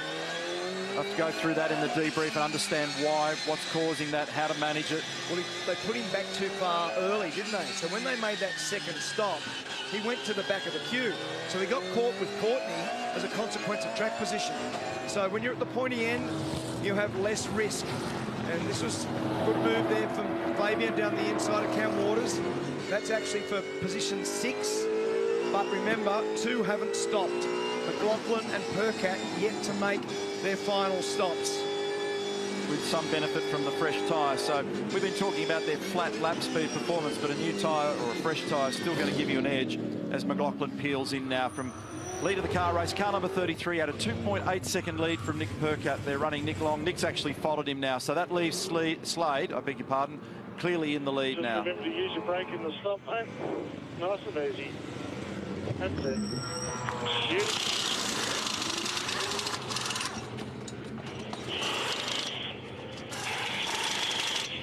Wheels are done, just waiting on fuel. There's one car behind you in pit lane. That's all. Five seconds, get ready, get ready. Just cut lanes clear. Go, go, go. Good job. Very good stops today. Meantime, Slade's actually opening the gap to Mark Winterbottom at the moment. It's out to five seconds now. It was about 4.5, 4.6, so he's actually snuck half a second into the game. So it's sorting itself out now with 22 laps remaining. Slade over Winterbottom and then Van Gisbergen, followed by Coulthard, Waters, Pye, Reynolds, Lowndes, Whincup, Caruso. That's your 10 on screen. And 11th at the moment is Scott McLaughlin from Garth Tander. There they are. And right behind Garth is Todd Kelly, old combatants. Followed then by Dale Wood, Nick Percat, James Moffat, Will Davison, Rick Kelly, Jason Bright, Chris Pither. That's the 20. Five seconds is the gap. We'll monitor that for you. And then it's a bit tighter between third and fourth at the moment. So watch Coulthard because he's only 1.8 seconds behind Van Gisbergen with a fresh tyre. Now, even though there's not a big difference between the tyres, I- wouldn't mind a fresh set of tyres and a 1.8 second gap. I'd, you'd hook into that for a main course. no doubt. He'll, uh, he'll have car pace at the moment. It's a pretty wild battle here with Moffat, Percat, Davison, Rick Kelly. Rick Kelly having a little rub there with Will Davison on the way out. And down the inside, a move. Percat into the side of Moffat. Moffat won't give that away very easily because he's on the inside for the next corner. Moffat then out brakes Percat. Percat will be looking to do the crisscross, but someone will fill the gap. That person was Will Davison, and that was a lot of contact. In fact, they hit very hard. See that witness mark, tyre mark on the left-hand front of Will Davison's car. On board now with Fabian. And just up in front is Van Gisbergen. and this gap is diminishing pretty quickly. It uh, was 1.6 when I first started looking at it. It's now 1.1 seconds. So the fresh tyre that Dr. Ryan Story mentioned before is going to give them a benefit. We've downplayed the notion of undercutting. Not really an undercut as such, but it's the same kind of effect that the fresher tyre gives you something. And so now he's absolutely able to throw a punch. Shane's not going to have much in the way of a response here, and I don't think his car's totally to his satisfaction either at the moment. So remember, this is for the podium. Keep an eye on them down at turn 11 because that's an ordinary exit here, but uh, he's going to have to go the long way, Fabian Coulthard. She made it easy for him. So uh, Shane's going to be happy to get points today rather than go to a fight to the death and end up off the road. So uh, he struggled through turn 10, Shane Van Gisbergen. So that's a podium now for this group. Shane cleverly, that was very experienced racing from the young Kiwi. Just come out of the throttle, let Coulthard by. He knew that Fabian had far greater car speed. He knew that if he lobbed at turn 11 alongside him, that potentially he'd go off the road, there would be contact. So to minimise his loss, he just came out of the throttle, and that was a very experienced, very mature action. Now, it's not impossible, depending on the trend of the tyres here, that Coulthard could get to Winterbottom. He's 3.8 seconds behind Frosty at the moment. And there's about half a second difference in their current lap speed. 20 laps remaining, big chance of get through, but there'll be some tapering in that lap speed as well that we'll monitor. But just reiterating, it's 3.76 seconds exactly at the moment between Coulthard and Winterbottom, and that's second and third. What's enticing is a safety car. Safety car lobbed at the moment. Fabian is in the box seat based on that speed that he's currently showing. So Fabian did his fastest lap uh, a lap and a half ago. That was 20.09. We'll just monitor these times for you. So Slade with a 20.87. Winterbottom's about to come over the strike, and he does a 20.95. Fabian Coulthard now at 20.41. So effectively half a second faster. As you said a second ago, that's that's real car pace at this stage of the race. Yeah, so I've underestimated that pace. Earlier I said I don't reckon Fabian's going to be a threat to the podium, but he is obviously on it at the moment, and he could actually grab another spot based on the current numbers. Just uh, grab Mark Dutton, who's, uh, you feeling any better, mate? You don't look too bad. better, mate, a little bit better. Hey, uh, tricky old weekend. It's just been incredibly strategically very, very tough. Giz then just uh, sort of made it pretty easy for Fabs. He's obviously a bit concerned about his tyres, being that he's been out there a bit longer. Yeah, exactly. 20 to go. No point uh, just burning his tyres up, trying to defend someone on much fresher tyres with a good car, and uh, and then letting the other cars come back. Obviously, Grant's done excellent strategy and Gizzy excellent lap times to get us from a poor qualifying position. Yeah, and he had a bit of a problem there in that first pit stop too. I think got onto the anti-stall uh, trying to get out of the pit lane. Yeah, exactly. So lost a little bit of time there. Safety car helped us out a fair bit with 97. Unfortunately, the safety car then hurt us with 88. So um, two better cars than yesterday, so pretty happy with that. Thanks, bud. Thank you. Brad Jones is never one to uh, to count his chickens, but you you patted Andrew Edwards and, and Julian Stannard and the boys on the back after that stop. You feel like it was perfectly timed for Tim. Well, I just felt felt that you know we were racing Frosty, much easier to pass him on the when there's clear air and in the pits and it is out on the track. And so you know we got out. Was going to be tight, but we got out in front, and I was pretty pretty pumped about the moment. So still got a long way to go. Got 19 laps to go. So um, we got good tyres. I think even if there's a safety car, we're in pretty good shape. So just got to get to the end. But you know, got total confidence in Timmy. He did a fantastic job yesterday. And wouldn't it be great if he could win too? Sure would be. 24 hours on. I mean, he was quiet on the radio yesterday during that race. What's he been like today? And is he just sort of getting on with the job? Yeah, no, he's really quiet on the radio. So we've just, you know, we're just filling him full of the information we think he needs. So we let him know that everyone's stopped, you know, what his style of life is like compared to the people around him. And so really he'll just be doing line and length, hopefully, and not make a mistake. And, um, you know, we'll see what happens at the end. Nice to see a little smile. Thank you. Thank you. see a little bit of confidence there for Bradley. So uh, started on the second row of the grid position for Tim Slade. Strategy worked beautifully. They're good at that game down there typically. 5.2 seconds is the gap. Slade over Winterbottom. And uh, there's the provisional championship points at this point in time. So Winterbottom with a 27-point margin if things stay as they are. Look how tight it is, though. Van Gisbergen and that interesting interview with Mark Dutton before, who's got a bit of a cold this weekend. And the observation is correct, you know, having qualified down in 12th strategy-wise from Grant McPherson.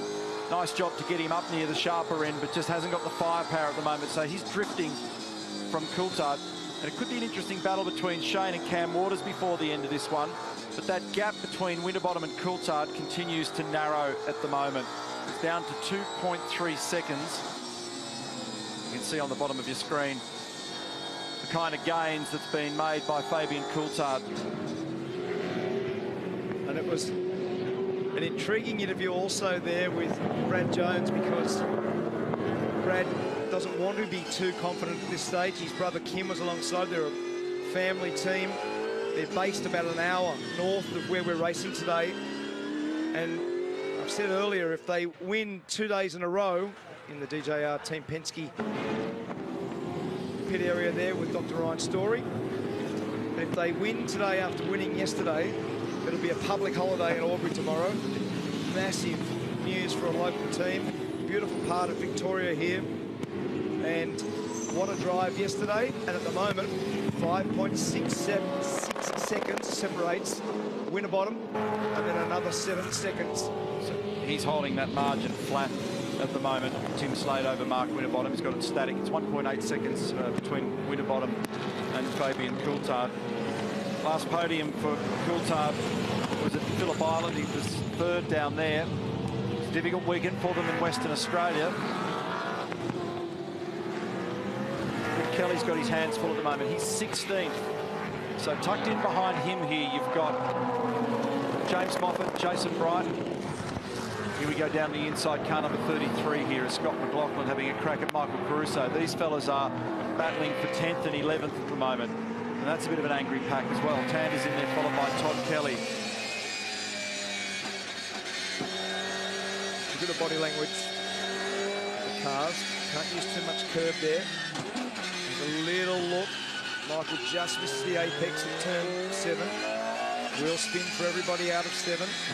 Where the dirt comes on the road at eight. Quite a lot of it again today as well. Slow it right down. Slowest corner on the track. Modulate the throttle, modulate the wheel spin. Up to this tricky left-hander. Always locks the rear brake here. The brake cycling. It's not a heavy place in terms of brake wear or temperature here, but it is a weird cycling of the front and rear temperatures. It Tends to lock the rears at that one. Also locks the rears down here at turn 11. Little wavy bumps on the approach. New patches of sealant. You can just see it there over the top of this new surface. And this battle with Reynolds and Lowndes continues. In fact, Lowndes has done a good job with that broken header exhaust pipe on his Vortex Commodore. Won't be at full power, but it's right in behind. Reynolds has done a good job there. They're battling for seventh and eighth. On board now with Craig. Oh, he's off the road. I just gave him a wrap. And the reason why was James Courtney was trying to stay out of the way because he's 11 or 13 laps or something behind, but uh, would have forced Craig high up on the dirty line, I imagine, so he's off the road. The other risk when you've got those header dramas going on is depending on where and how it's broken, uh, there can also sometimes be some burning effects, damaging wiring and other things. So it sounds shocking in the background. So here's why. Yeah, so he's higher on the turning point than he'd like to be. Don't need to be terribly wide through turn five late in the day when there's a lot of rubber and rubbish on the edge of the road. And off goes Craig. So you're damned if he does and damned if he doesn't. So he doesn't commit going in there. He can't drive as slowly as James was touring in there. But rounding him up on the outside was costly. Yeah, it was, and it's, it's an interesting corner. It's the fastest corner on the track, but it's got two apexes, so it's got an entry apex, clipping point, inside clipping point, and an exit clipping point. And where Craig had to drive was effectively a car width wider than the first clipping point, which put him out in the dirt, out in the marbles, right there, right at that spot. And he was escorted wide, slid the car off, and that really hurt in the battle to get by Dave Reynolds, who, as I said, is in seventh position currently. So Slade, Winterbottom, Coulthard, the gap back to 0.4 of a second now. Fabian, great job. You can see the margins here in the respective teams watching the action. But interestingly, the margin of the lead now is beginning to expand, which typically also happens when these little stoushes begin. So Coulthard's big chance, as we mentioned a little while ago, to actually go one slot better here on these numbers, although just in the last couple of laps, that advantage that he was enjoying with the fresh tyres has begun to diminish somewhat. But you'll be able to see and sense the extra brake and mid-corner performance in car number 12. Let's stay here, have a look at this one. Battle for second position.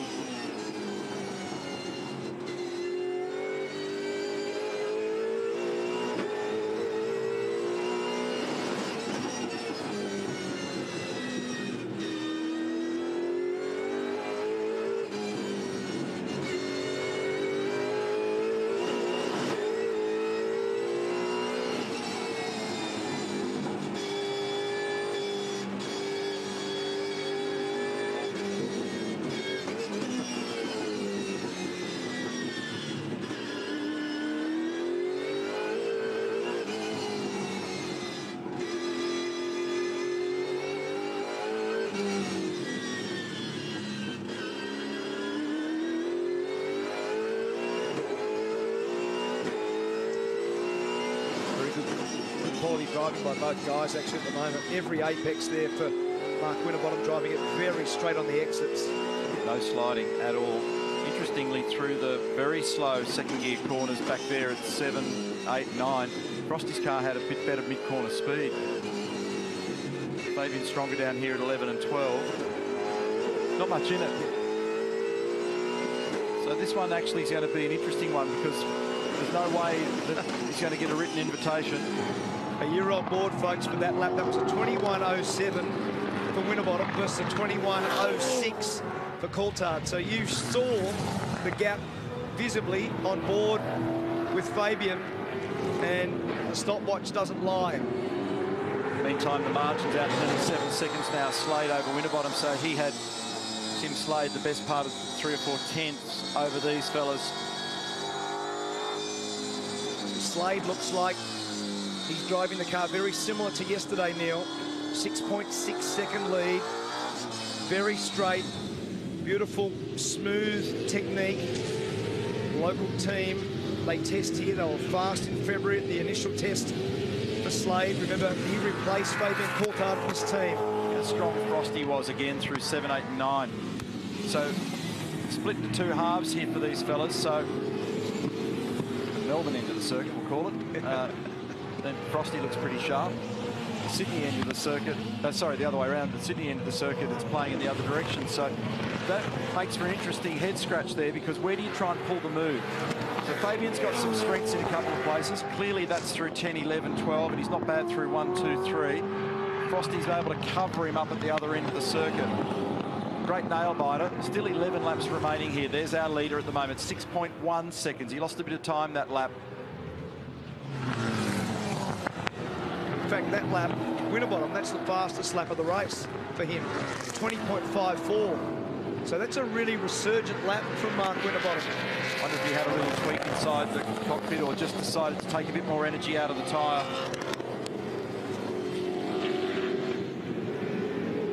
This is the zone that Neil was saying before that Frosty's got a little gap and you can see there he runs it narrow on the exit pulls away. I saw before Fabian runs it in very quickly in a long arcing loop into the right-hander at turn seven. Okay, mate, so just slow it on the entries, let the car do the work on the exit. Slow it on the entries, let the car do the work on the exit.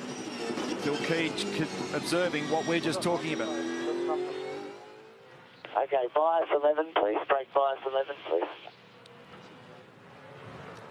So Phil's seeing the data and the pictures, but it's interesting how hard he ran it in there on the front left tyre into turn seven. And then that was making a big long arc where it delayed him getting on the throttle coming out of seven. And uh, so Phil's suggesting an anti-roll bar change. That's the tweak that I was talking about.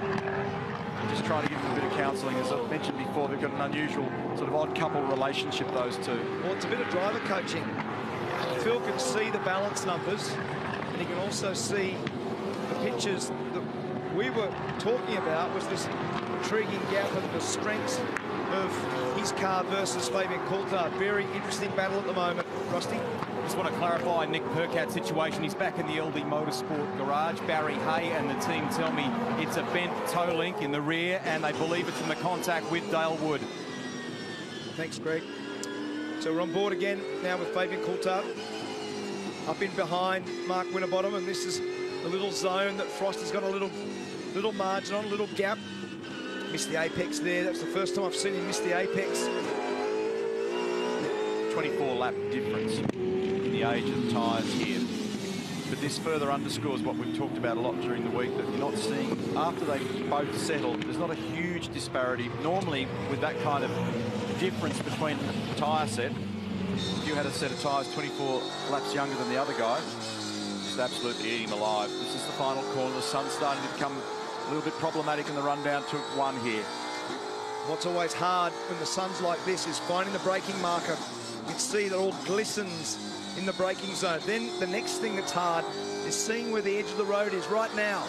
It's hard to pick up the edge of the road because the sun is directly in your eyes as you come out of turn two, and that exit is really important. It's very, very fast.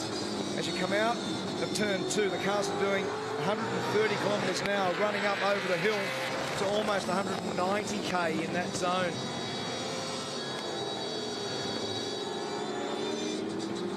very accurate driving by both these guys. And as you can see, as the race has worn on, there's an absolute racing line right there. If you get wide and you make that dust or debris or marble area on the outside, you'll run off the road. And that's why we've seen today, anyone that was out of sync, who was pushed wide for some reason, they don't just lose one spot, they lose three or four if there's a, a gaggle of cars. So Winterbottom continues to lead. Fabian Coulthard on much fresher tyres. Tim Slade, meanwhile, still leads by six seconds over Frosty. Got it out to nearly seven, and it's just softened again in the recent past, but it's hovering in the low sixes all the time, so he's found his rhythm once more. Sometimes there can be a bit of traffic involved in that too. Just gone through. Lap time was a 1 minute 20.8 for Slade. Same for Mark Winterbottom. It was a 20.7 for Fabian Coulthard. Van Gisbergen at 20.8. Shane's now 10 seconds from the lead. 20.9 for Cam Waters, 20.9 for Scott Pye. And then the 21s for David Reynolds. Lowndes are still reasonably quick at a 20.7, remarkably with that engine drama. His teammate Jamie Whincup is next in ninth at 21 flat. And then Caruso 21.2. That's your 10. 20 seconds covering those top 10 cars. And this is a nail-biting battle between Mark Winterbottom, Fabian Coulthard for second on the podium. We've got eight laps remaining. They're good mates, these guys. They travel away overseas together.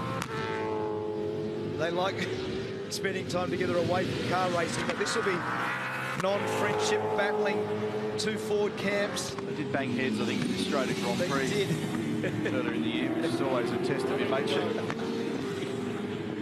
Seven to go at the end of this lap, Pat. Seven to go at the end of this lap. Fabian just wanted to know where we're at. So he's trying to assess what he has up his sleeve in adjustments or energy in the tyre that he can deploy. Okay, Brian, 11 5, 11 5, 5, please. Just they're hard on the limiter down there, aren't they? Imagine the disharmony in the engine when that's going on. Shaking. So it's officially 0.4 of a second. It keeps on just fluctuating. But he's found himself in the hot, awkward air behind Mark Winterbottom at the moment. There's not very much you can do about it. Interestingly, Scott McLaughlin has just done a personal best first sector in 11th position. Long way into the race to be doing that. So we'll see what this actually looks like from overview here. Further round to the right with a 6.03 second gap is Tim Slade. He'll be coming off turn nine. There he is. So that shows you where they sit. And then Van Gisbergen's actually having a bit of a lonely run there at the moment now in car number 97 for Red Bull Racing. They're second and third. It's an interesting layout because when you're in those slow corners or when you drive up to the sweeper at turn five, you always have a sort of a spot on the track, maybe two or three spots where you can see the other competitors. You can see how far they're either in front or behind you, and you you make your own little markers in terms of did I make ground on him that lap? And there's flag marshal boxes, there's trees, there's lots of little identifying landmarks that give you that. This is one of them now, so as you get into turn one, beautiful change of direction corner this. A lot of sacrifice from the left to the right, and then up and over the hill. Get a little look now, so as you come down the hill and you're going to turn four, this is where Mostert spun last year whilst leading and backed it up on the tyre wall. So right now, when you're at the sweeper, you look across and you can see where the leader is. So right now you can see Tim Slade just behind the flag marshal's box. So you get a little gauge, you go, did I make a bit of ground on him that lap or not? It's a strange rhythmic business in that regard. Sometimes various circuits, the drivers can also see themselves on the big screens and there are other little things that catch your eye in the crowd. Be a certain colour or a car or a person or a marshal or whatever. And as you start to reel the laps off in longer races, everything slows down and the tiniest little shift in the environment is noticeable, which is a really strange thing and probably hard to equate when you consider the velocity of these cars, but it's very true. These guys are totally in command of these cars at the moment. Their heart rates are low, they're fully in the zone. They understand every aspect of the car, the racetrack, and the plus and minus, minus of a hundredth of a second. He's closer now, so he's just stepping it up a notch with five laps remaining. It was a 20.7 for Slade, 20.9 for Frosty, so he was hurting a bit on that lap, and a 20.7 for Fabian Coulthard. Pressure on now. He's now right in the wheel tracks of Frosty's car. But at this end of the circuit is where Winterbottom has been powerful. And he's not missing markers at the moment, Winterbottom. He's very precise now, isn't he? He doesn't make mistakes. See there, just bumps the apex, bumps the apex, gets the car in. He's very good at getting the nose of the car and he brakes the car beautifully on the way to the corner. Very steady with his throttle application on the exit. Very patient with the way he does that. You never see big slides from Mark Winterbottom. He's got beautiful car control. Look how straight he drove the car out of there and he made ground. He made two or three car lengths in that zone from seven, eight, and nine. Well, at the start of the lap, it was just over two tenths of a second. Now it's back to half a second again. So a little bit of an air gap there for him. Nothing that would allow you to relax, though. And physically, with the resurfacing of this track, it will have made this place more arduous on the drivers because the tyre doesn't degrade. And normally at this time of the race, they'd be doing 25s. They're now doing 20s. That's how much faster it is.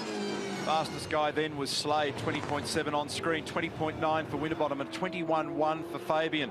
So his burst the previous lap may have hurt him slightly on the subsequent lap. Now he's trying to reel him back down again. Van Gisbergen is in fourth position for Red Bull Racing Australia. Cam Waters for Monster Energy is at fifth. Then it's Pye, Reynolds, Lowndes, Whincup, Caruso. That is the 10. And this is one of the corners to be more physically demanding on the drivers. You're in the corner for a long time, then the car slides from one way to the other. Then you've got to brake the car beautifully, get it to the apex, modulate the amount of throttle on the exit, not too much wheel spin. Sacrifice the left-hander so that you can get a nice run to this right-hander. And beautiful straight exit. Use that little curve on the outside like a motocross berm. There's so much to do at this place. It's so complex, Murph. Oh, mate, I'm just so impressed. This drive by Mark Winterbottom so far. I mean, you look when he last stopped, which was back at lap 24, but he didn't change tyres at that point. He'd already been on these ones for a few laps before that. So he has been doing an amazing job considering where Fabian Coulthard is and how much life he's had in those tyres. This is a, a pretty champion drive, isn't it, boys? certainly is. He stopped on lap 19 for the tyre part of his stops, Murph. And for Fabian, it was on lap 43. That stage, I didn't think he'd climb back because I didn't think there'd be a big enough difference between the tyre performance, but proved me wrong. And he's well on the podium, but I'm, I'm not as convinced that he can actually take that next step now. Because of the strength of the way in which Winterbottom's car is working up in those U-turns at six, seven, eight, nine, he's buying himself the cushion he needs at the other end where you're vulnerable down at turn 11. That's right. And what Greg Murphy was saying, not just about the length of time on the tyre, the reason that Mark Winterbottom's been able to keep the lap speed up and to drive it so well is because he's driving it so accurately.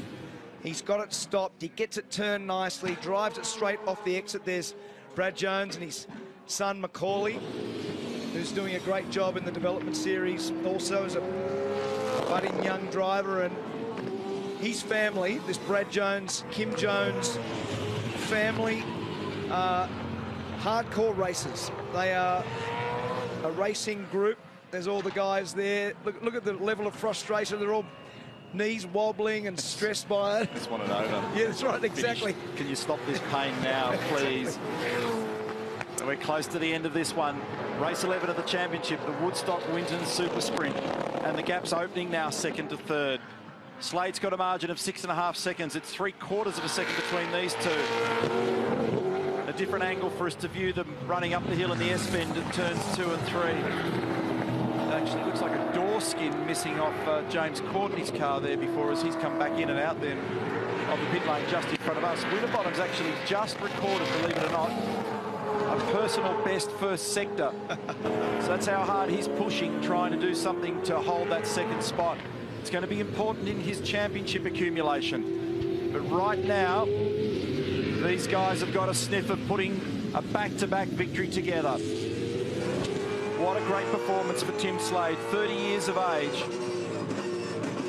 Converted a pole to a win, race 10 yesterday. Gently on the steering wheel. When it happens, Greg Murphy's down there. I think Kim's changed shirts. I, I saw him earlier in the day and he was Team BOC at that stage, so he's a fair weather sailor. Fair He's a enough good winner. too. He's a good winner.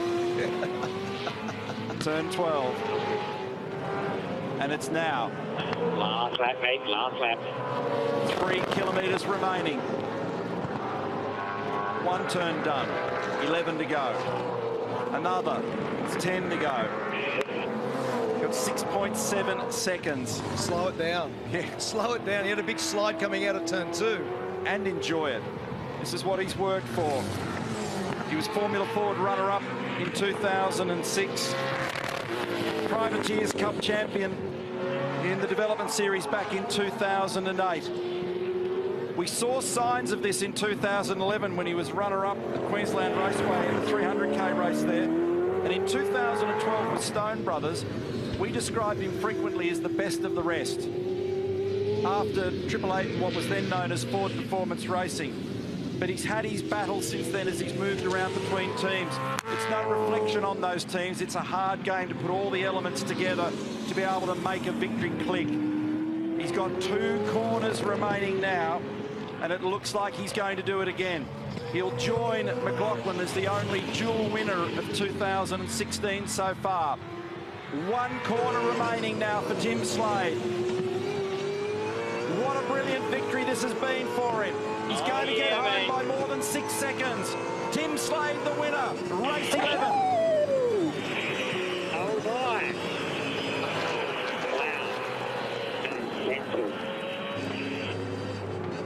Woodstock Winton Super Sprint goes to car number 14, Freightliner Racing, Tim Slade. Back-to-back victories. He's going to light them up here. That's up in front of the old pit area, the old pit straight where all the crowd are, near the control tower. And what a superb performance over the weekend by Tim Slade and Brad Jones Racing. Yeah, what an, what an incredible result. Two in a row. I mean, one's amazing to dominate the weekend like you guys have done. It's a team effort, as we know, mate. Congratulations. Thanks, Merv. It's a fantastic day. I mean, you know, qualifying didn't quite roll the way we would have hoped this morning, but, uh, you know, certainly felt we had a very fast car and for us to be able to, you know, get that strategy right at the end and, you know, we made a call early. We turned the whole strategy around and, you know, Julian, Tom and all the boys, fantastic job and um, worked out really well. We knew that it'd be critical to get out in front of Frosty or around him with a much fresher tyre and it just, you know, worked out perfectly. It did work out perfectly. I think, though, maybe uh, based on uh, what will be happening out there in a minute with uh, with Tim, you might have to rebuild this engine at the end of this one. I think the burnout's going to be pretty good. Yeah, that's okay. I'm not bothered about that. good stuff. First time in his life he's not been bothered about spending a dime, money. Brad Jones. uh, his nose is growing. Tim Slade. Mark Winterbottom, Fabian Coulthard, congratulations, great drives all. 6.6 seconds, the official margin between Tim and Mark Winterbottom. And then 0.6 it was in the final analysis as Tim lights it up between Frosty and Fabian, who did a great job to get on the podium. Lunatic. Okay, he's, he's off, gone the, off the road, road.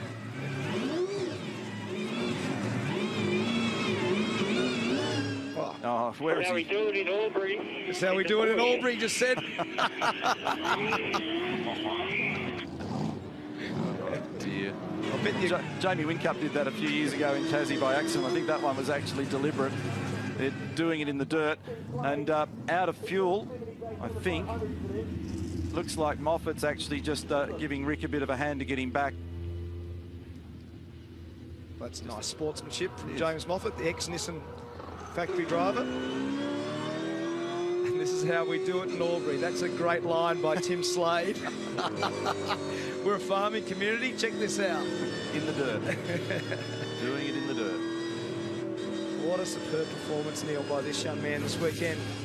Game changer yesterday and a repeat performance in the 200k race today and that's the burnout that's the only thing he didn't do through the course of this race was wheel spin controlled the tire usage very well he was very measured good strategy application by Brad Jones Racing and another win for the 30 year old from South Australia and as I said yesterday the 73rd winner of all time in our sport Well, the lap speed was very, very flat. And this is the last lap battle between David Reynolds and Scott Pye, who's made a mistake and allowed David to sneak on by. So that's a critical one. There have been a couple of gift wrap positions today with ribbons. so uh, that was very easy. Slade, Winterbottom, Coulthard. That is your podium and up to the U-Bet number one position into the victory circle. For the second day in a row comes Tim Slade. Yesterday he just sat there and soaked it up with a almost a look of disbelief on his face while he tried to comprehend what was going on. He's a bit more comfortable having rehearsed that now. Exactly right. His dad was there yesterday, his sister Lucy. Very emotional day for the family. And Slade now, a local hero, the Brad Jones team, just up the road. Fist pumps for young Tim. And Mark Winterbottom alongside. What a great drive by Frosty. And there we go. And also to Fabian Coulthard, but yes, confirmation Mark Winterbottom, championship leader. It's always good to see the guys appreciating each other's work. Here's the super slow-mo, and the impressive thing for me was just constant control for him. No emotion in his driving, calmly asking questions about where he was at and how the strategy was playing, driving the car straight. The lap speed trace for him looks very, very flat. Very few mistakes, if any. Let's get down there now and enjoy the moment. Tim Slade, you had to wait a couple of races, but for the second day in a row, you find yourself in the U-Bet victory lane. Congratulations, another outstanding victory in the Supercars Championship. Oh, what do I say to that? what was it, 226 starts and then two in one weekend and a pole and quickest in practice. Um, yeah, man, I hope uh, hope this isn't a dream. Um, hope I stay awake, don't wake up. awake. It's good, pinch myself. But no, again, massive thanks to uh, to Freightliner and all the BJR Racing crew, um, BJR Racing Racing, BJR crew. Um, yeah, again, couldn't have done it without them, obviously. They're giving me a, a rocket for the second day in a row. So, um, yeah, man, that's mental. It's crazy. A near on perfect weekend. I think it's officially been declared a public a public holiday in Albury tomorrow. We're just we're just making that up, but I think it will be fine. Yeah, let's let's do it. Who's who's the mayor of Albury? Does he he or she call the public holidays? So We're calling it. we well we'll definitely be knocking the debrief back. That was meant to be tomorrow, and I might have to uh, to stay a day later and help the boys clean the car because I always said I wanted to do some dirt donuts when I won a race. So um, yeah, I think that's how they do it in Albury. We absolutely loved it. Enjoy the champagne and enjoy the celebrations. Mark Winterbottom, seventh straight podium here at Winton. Something about this place, and you love it. Yeah, it's uh, you know qualifying 10th was average, but um, the strategy was awesome. We just kept hitting our numbers, and so proud of the, the team. So um, you know, congrats again to the BJR boys.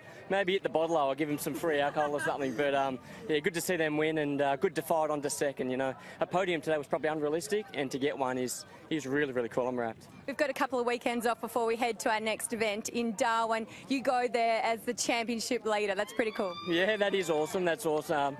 You know, it's a long season, but uh, to get to the front any time is, is really good. And today, to salvage the position when we qualified 10th, um, that's what it's all about. So um, we'll keep pushing on and keep trying to get results. It's awesome. Enjoy the champagne. Fabian Coulthard, there was a little question mark with the, uh, the, the start at the beginning for yourself. You probably don't even know that, but you're on the podium. Congratulations. Yeah, it's been uh, not a bad day. Uh, awesome recovery um, after yesterday, but you know, we tried our best, and uh, today third was good, the best we could do. But you know, I'd like to say uh, my thoughts with Josh's family. Josh is my number one, and you know, he's had a bit of a family drama um, throughout this week. So um, you know, our thoughts are with them. I know that um, you're going on holiday with Mark Winterbottom. That battle got pretty spirited at the end. Yeah, look, uh, you know, we can still go away and be friends, so that helps.